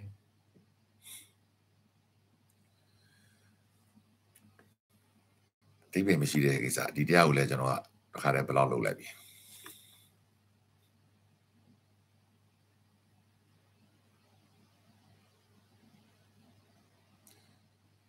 မဟုတ်ဘူးလေရန်ကုန်မှာအလုပ်သမားတွေရှားပါလာတယ်ဦးကျွန်တော်ဦးကနစောစောကထောက်ပြသလိုလုပ်ငန်းရှင်တွေကိုလည်းဗျဦးကျွန်တော်ကျွန်တော်ကလက်ဖိတ်ဆိုင်ပိုင်ရှင်ဗျစားတော့ဆိုင်ပိုင်ရှင်ဗျကျွန်တော်တော့ကျွန်တော်သားသမီးတွေကိုဟိုစစ်တပ်ကလမ်းမှာတွေ့တာနဲ့ဖမ်းသွားမှာကြောက်လို့ထိုင်းကိုပို့လိုက်ရင်သူ့ဆိုင်မှာအလုပ်လုပ်အလုပ်သမားတွေကလည်းနေတော့မလားထွက်ပြေးပြီပေါ့သူတို့လည်းသူ့ဆိုင်မှာအလုပ်လာရှင်းမှာတနေ့မှရမှာရမယ်ပတ်စံနဲ့လမ်းမှာတွေ့လို့ပေါ်တာပါသွားပြီသူတို့ဖမ်းသွားရင်ဘယ်လိုပဲသူမလုံခြုံတော့ဘူးလေသူလည်းပြေးပြီပေါ့ အဓိကကအသက်လူပြေးနေရတာအဲ့တော့သူလည်းမလာတော့ဘူးပေါ့အလောက်ကားရင်လက်ဖိတ်ဆိုင်မှာလည်းလူမရှိတော့ဘူးဒါပဲပေါ့အဲ့လိုပဲစက်ယုံမှာလည်းလူမရှိတော့သူစက်ယုံမှာလှုပ်လို့ဘယ်နှပြားရမှာလဲဥပမာအဲ့ရတဲ့ပတ်စံတဲ့ဒီမှာစစ်တပ်တဲ့ပါဝိုင်းသေးသေးရမှာလေအဲ့တော့လူတရဘသူကဒီစက်ယုံမှာလှုပ်လာလို့ဒါရှိရှင်းလေးပဲအခုဆိုရင်ယောက်ျားလေးမရရင်မိန်းကလေးလည်းဖမ်းမယ်ပြောတယ်လူကြီးလည်းဖမ်းမယ်ဆိုတော့လမ်းပေါ်မှာသွားနေတဲ့လူတယောက်ပြောချင်တာကတရားဥပဒေစိုးမှုဆိုတာကိုပြောချင်တာ လမ်းပေါ်မှာသွားနေတဲ့လူတယောက်ဒီသူတို့သတ်မှတ်ထားတဲ့ဥပဒေအရာကိုဘောင်မဝင်လဲဖမ်းနေဗျာဘာလုပ်ချင်လဲတနက်ပြပြီးဖမ်းနေကွာဘာလုပ်ချင်လဲဆိုတော့ဘာမှမသေးကြမရည်ရတဲ့ဘဝကြီးမှာကိုယ့်တဲ့နဲ့ကိုရှောင်ရှားတဲ့အခါမှာဘသူကမင်းလုပ်ကိုလာပြီးတော့လာလုပ်ပြီးမင်းလုပ်ကိုလာမလုပ်ပြီးပါပြင်မင်းတို့စက်ရုံကရင်းနှီးမြှုပ်နှံမှုတွေဆုံးရှုံးမယ်အလုပ်သမားမရှိဘူးအဲ့တော့သူတို့ပေးတဲ့ဟိုအထည်တွေဆိုရင်ပေးတဲ့အချိန်မှာပေးရင်သူတို့ရော်ကြီးတွေပေးရမယ်ဟုတ်တယ်မလား တံငွေရိုက်ခံရမယ်အဲ့ဒါဆိုသူတို့ရှုံးမယ်ရှုံးတဲ့အခါကျရင်စက်ရုံပိတ်ပြီးထွက်ပြေးမယ်စက်ရုံထွက်ပြီးထွက်ပြေးရင်အလုပ်သမားတွေလည်းအားလုံးလုပ်ပြုတ်မယ်တိုင်းပြည်လည်းဝင်ငွေရော့မယ်တဖြည်းဖြည်းနဲ့ဆင်းရဲဆင်းရဲဆင်းရဲပြီးမြောက်ကိုရီးယားပြင်မှာ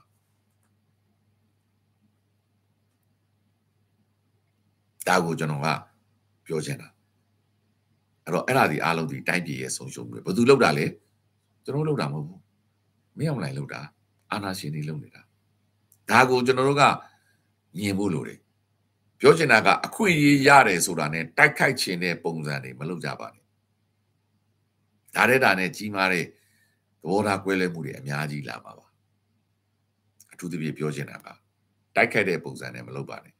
လူမျိုးရေးကိုအခြေခံတဲ့တိုက်ခိုက်မှုတွေမလုပ်ပါနဲ့ပြဿနာရဲ့အမှန်တရားအမှားတရားဟာအဲ့လိုတိုက်ခိုက်ယုံနဲ့မပုံမလဲမပြောက်ွယ်သွားပါဘူးပြောချင်တာက တကဘာလုံးကစောက်ကြည့်နေတယ်မြန်မာနိုင်ငံကြီးကပြည်တွင်းမှာရှိတဲ့ပညာရှင်ပေါင်းမြောက်များစွာကစောက်ကြည့်နေပါတယ်အားလုံးကိုမင်္ဂလာပါကျေးဇူးများကြီးတင်ပါတယ်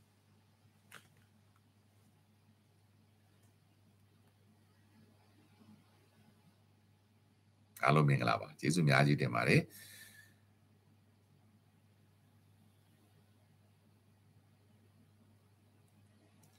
သူတို့ကတော့နိုင်ခြင်းလို့လုပ်တာပေါ့လေနော်ဒါသူတို့ကတော့နိုင်ခြင်းလို့လုပ်တာ ဒါပေမဲ့ဖြစ်လာတဲ့နောက်ဆက်တွဲကဒါတွေပဲ။အော်ကျွန်တော်ပြောသလိုလက်ရလက်ဝဲဆိုတာလေကျွန်တော်တဖြည်းဖြည်းမြင်အောင်ပို့ပြီးတော့ရှင်းပြပါတယ်နော်နောက်တစ်ခုက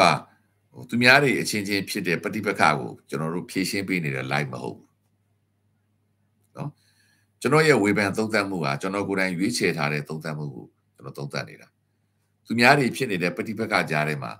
ဘသူကဘာပြောတယ်ဘသူကဘာပြောကျွန်တော်ကဝေဖန်ရေးဆရာမဟုတ်သုံးသပ်ရေးဆရာလည်းမဟုတ်နော်ရန်လာတိုက်တဲ့အနေရေးသားမျိုးလည်းလက်မခံပါဘူးကျွန်တော်သုံးသပ်ခြင်းတဲ့ဟာကိုကျွန်တော်ကိုယ်တိုင်ရွေးထားပြီးတတ်နိုင်ဆုံးဗတ်မလိုက်ပဲမျက်မျက်တတာပဲသုံးသပ်ပေးတယ်ဒါပေမဲ့ဗတ်မလိုက်ပဲသုံးသပ်တာဒါကြိုက်ကျွန်တော် NUG လည်းဝေဖန်တာပဲကျွန်တော် NUG ကိုပြောတဲ့ခါကျရင်လည်းတက်တက်ပြောတာပဲအဲ့ဒါဆိုရင် NUG ရဲ့လူတွေပဲကြိုက်တယ်သူ့ကိုဝေဖန်တော့သူပဲကြိုက်တယ် ဒိုလီကောင်တခြားတိုင်းသားဖွဲ့စည်းတွေဝေဖန်တာတွေရှိတယ်အဲ့ဒါကြိုက်သူတို့လည်းမကြိုက်ဘူးဒါပေမဲ့ဂျားတွေကနေတခါတလေပြောတဲ့ခါကျရင်ကျွန်တော်ရဲ့သုံးသက်ချက်ဒီအတက်နိုင်ဆုံးအတ္တဆွဲကင်းကင်းနဲ့ဘက်လိုက်မှုကင်းအောင်ကြိုးစားပါတယ်ဒါပေမဲ့ဘယ်တော့မှသူများအချင်းချင်းဖြစ်တဲ့ကိစ္စကိုကျွန်တော်ဂျားဝင်မပါပါဘူးဒါသူတို့အချင်းချင်းသူတို့ဖြစ်တာသူတို့သူသွားချင်းကြတယ်ကျွန်တော်လုံးမဟုတ်ပါဘူးဒါဆိုတော့ဝေဖန်ရေးဆိုတာလူတိုင်းပြောလို့ရတယ်ဘယ်ရှုထောက်ကနေဝေဖန်ပြောဆိုတယ်လဲဆိုတဲ့အပေါ်မှာပဲမူတည်တယ် နော်ဒန်တူအခွင့်အရေးဆိုတာ NUG ဝန်ကြီးတစ်ပါးကိုဝေဖန်ခြင်းနဲ့ဆိုရင် NUG ရဲ့မျက်နှာကိုကြည့်ပါသူဒီ NUG ရဲ့ဝန်ကြီးဖြစ်တယ်ရီရှီဆူနက်ကိုဝေဖန်ခြင်းနဲ့ဆိုရင်ရီရှီဆူနက်ဒီကျွန်တော်တို့ UK ရဲ့ဝန်ကြီးချုပ်ဖြစ်တယ်ရီရှီဆူနက်ကိုပောက်ကရဝေဖန်ရင် UK နိုင်ငံသားတွေလုံးဝလက်မခံဘူးလူမျိုးချင်းနဲ့ဝေဖန်ကြည့်အဲ့ဒီဝေဖန်တဲ့လူချက်ချင်းပြဿနာတက်မှာပြောချင်တာကျွန်တော်တို့ရဲ့ခေါင်းဆောင်ဖြစ်တယ်တိုင်းပြည်ရဲ့ခေါင်းဆောင်ပေးထားတာ NUG ဝန်ကြီးဆိုတာ NUG အစိုးရရဲ့ဝန်ကြီးနေရာပေးထားတယ်အားလုံးရဲ့ဝန်ကြီးဖြစ်ရမှာအဲ့ဒီဝေဖန်တဲ့နေရာမှာအထူးသတိထားပါအဲ့လိုမျိုးစိတ်ဓာတ်နဲ့ကျွန်တော်တို့ဒီတိုင်းပြည်ကိုအုပ်ချုပ်မှာဒါမှလူမျိုးစုံဘာသာစုံတိုင်းပြည်မှာအတူတကွဒန်းတူအခွင့်အရေးနဲ့ပါဝင်ပေးဆက်လို့ရမှာပါဝင်ပြီးတော့နေရာလှုပ်လှုပ်ပြီးလို့ရမှာအဲ့လို cherry picker လို့ ပုံစံမျိုးလက်ရွေးစဉ်ကိုလိုချင်တာရွေးချယ်ပြီးတော့ target လုပ်ပြီးပြောဆိုတာပြောချင်တာပုံကူရေးတိုက်ခိုက်တဲ့ပုံစံနဲ့အညိုတကြီးပြောဆိုတာမျိုးကလုံးဝလက်မခံပါဘူး။နောက်လူကြီးမင်းတို့အားလုံးကိုပြောချင်တာကရှိထားတဲ့သမိုင်းထောက်ထားပဲဖြစ်ဖြစ်အရှိတရားပဲဖြစ်ဖြစ်ဘယ်သူမှလိမ်လည်ပြီးပြောလို့မရသလိုဘယ်သူမှလည်းအမှန်တရားကိုဖုံးကွယ်ပြီးပြောလို့မရဘူး။အဲရှိထားတဲ့အမှန်တရားနဲ့လည်းပို့ပြီးတော့တောင်းဆိုလို့မရသလိုပို့ပြီးတော့လည်းပေးလို့မရဘူး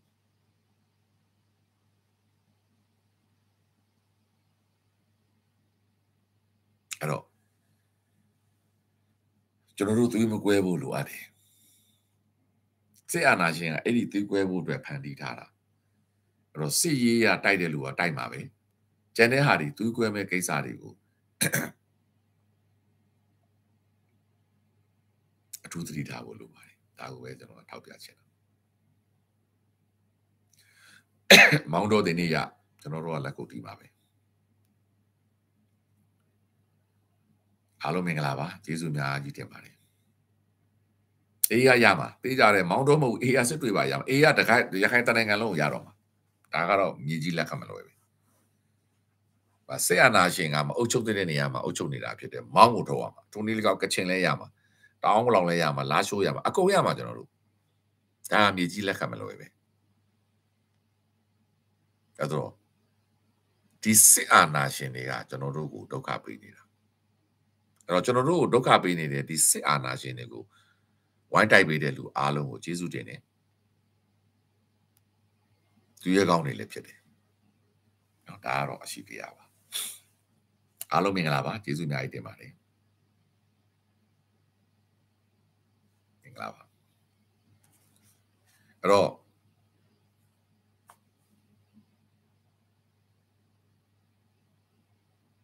ရှေ့လျှောက်တော့ပို့ပြီးချက်တဲလာဖို့ရှိတယ်ပေါ့ အဲ့ဒါတော့ကျွန်တော်တို့ရှောင်ပြေးလို့မရဘူးဖြစ်နေပြီ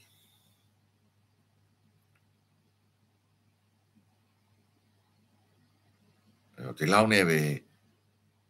ပြီးသွားရင်တော့ပိုကောင်းတာပေါ့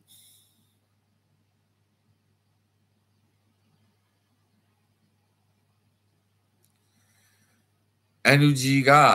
no complain no explain ပူဝါဒကိုကင်ဆွဲပြီးသွားရမှာပဲ သူကဟိုအသေးဖွဲအစားထားရှင်းနေတာမျိုးအပြစ်ပြောနေတာမျိုးလုံးမဲ့အစားပြီးခံရတာအကောင်းဆုံးပဲ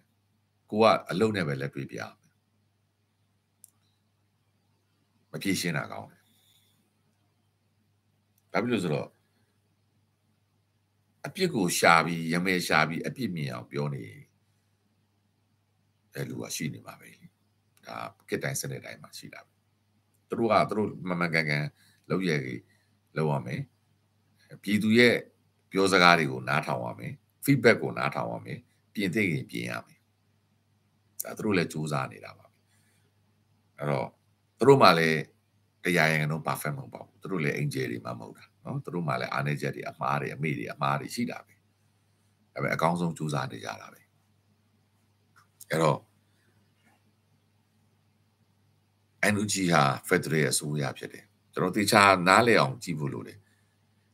NUG ဟာလူမျိုးတစ်မျိုးအုပ်စုတစ်စုကိုကိုစားပြုထားတာမဟုတ်ဘူးဒေသတစ်ခုရဲ့ပဋိပက္ခမှာအဲ့ဒေသမှာရှိတဲ့လူတွေအားလုံးကိုကိုစားပြုထားတဲ့ Federal အစိုးရဖြစ်တာဖြစ်တဲ့အတွက် NUG ပြောတဲ့အပြောအမြင်နဲ့ဒေသတစ်ခုရဲ့အုပ်စုတစ်စုရဲ့အမြင်ဘယ်တော့မှမတူဘူး အဲ့ဒါကိုနားမလဲပဲနဲ့ NUG ကိုအပြစ်ပြောလို့မရဘူးပြောဆိုတော့ကျွန်တော်ပြောသလိုအစိုးရဖြစ်လာပြီဆိုရင်ကိုရီအချင်းချင်းပဋိပက္ခဖြစ်နေကြတယ်ဥပမာမောင်ဖြူနဲ့မောင်နေနဲ့ NUG ကနှစ်ဖက်လုံးဘက်ကရရမှာ तू ကအဲ့ဒီမောင်ဖြူရောမောင်တွေရဲ့အစိုးရဖြစ်တယ်ဟိုဘက်ကကြတော့မောင်ဖြူကတော့သူ့အုပ်စုမှန်တယ်မောင်ကြီးကသူ့အုပ်စုမှန်တယ်လုံးပါပဲအဲ့တော့ယက်တီပုံချင်းမတူဘူးစဉ်းစားပုံချင်းမတူဘူးချင်းကပ်ပုံချင်းမတူဘူးနိုင်ငံတကာကနေကြည့်နေတဲ့ရှုပောက်ဝင်မတူဘူး ဒါကိုကျွန်တော်တို့ကနားလည်ပေးဖို့လိုတယ်ဆိုတာကိုပဲနီးမောင်းထိုးပြီးတင်ပြပေးလိုက်ရပါတယ်အဲ့တော့သူ့လူမျိုးကိုစားပြုပါလာတဲ့အဖွဲ့တွေကလည်းသူ့လူမျိုးကိုစားပြုပြောနေသလိုပဲလူတိုင်းလူတိုင်းမှာလည်းပြောခွင့်ရှိနေတာဖြစ်တဲ့အတွက်ဒါတွေကိုလည်းကျွန်တော်တို့ကနားလည်ပေးရမယ်ဒါပေမဲ့အမှန်တရားဆိုတာဖုံးကွယ်ထားလို့မရပါဘူး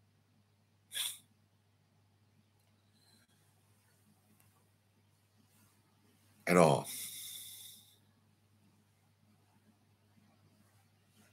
သူတို့တို့အချင်းချင်းတာဝန်ယူရလိမ့်မယ်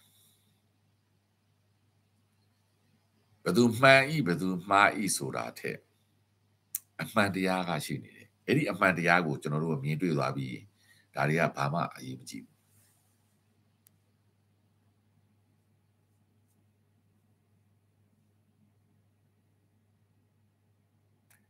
နှစ်ဖက်မယုံကြည်တဲ့လူအတိုင်းဝိုင်းပါလူတိုင်းဝိုင်းကိစ္စဗျာသိလား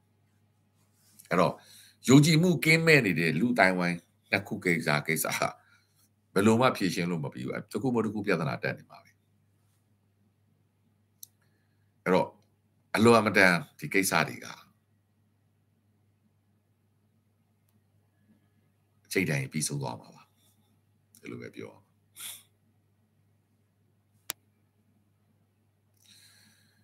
အားလုံးမင်္ဂလာပါ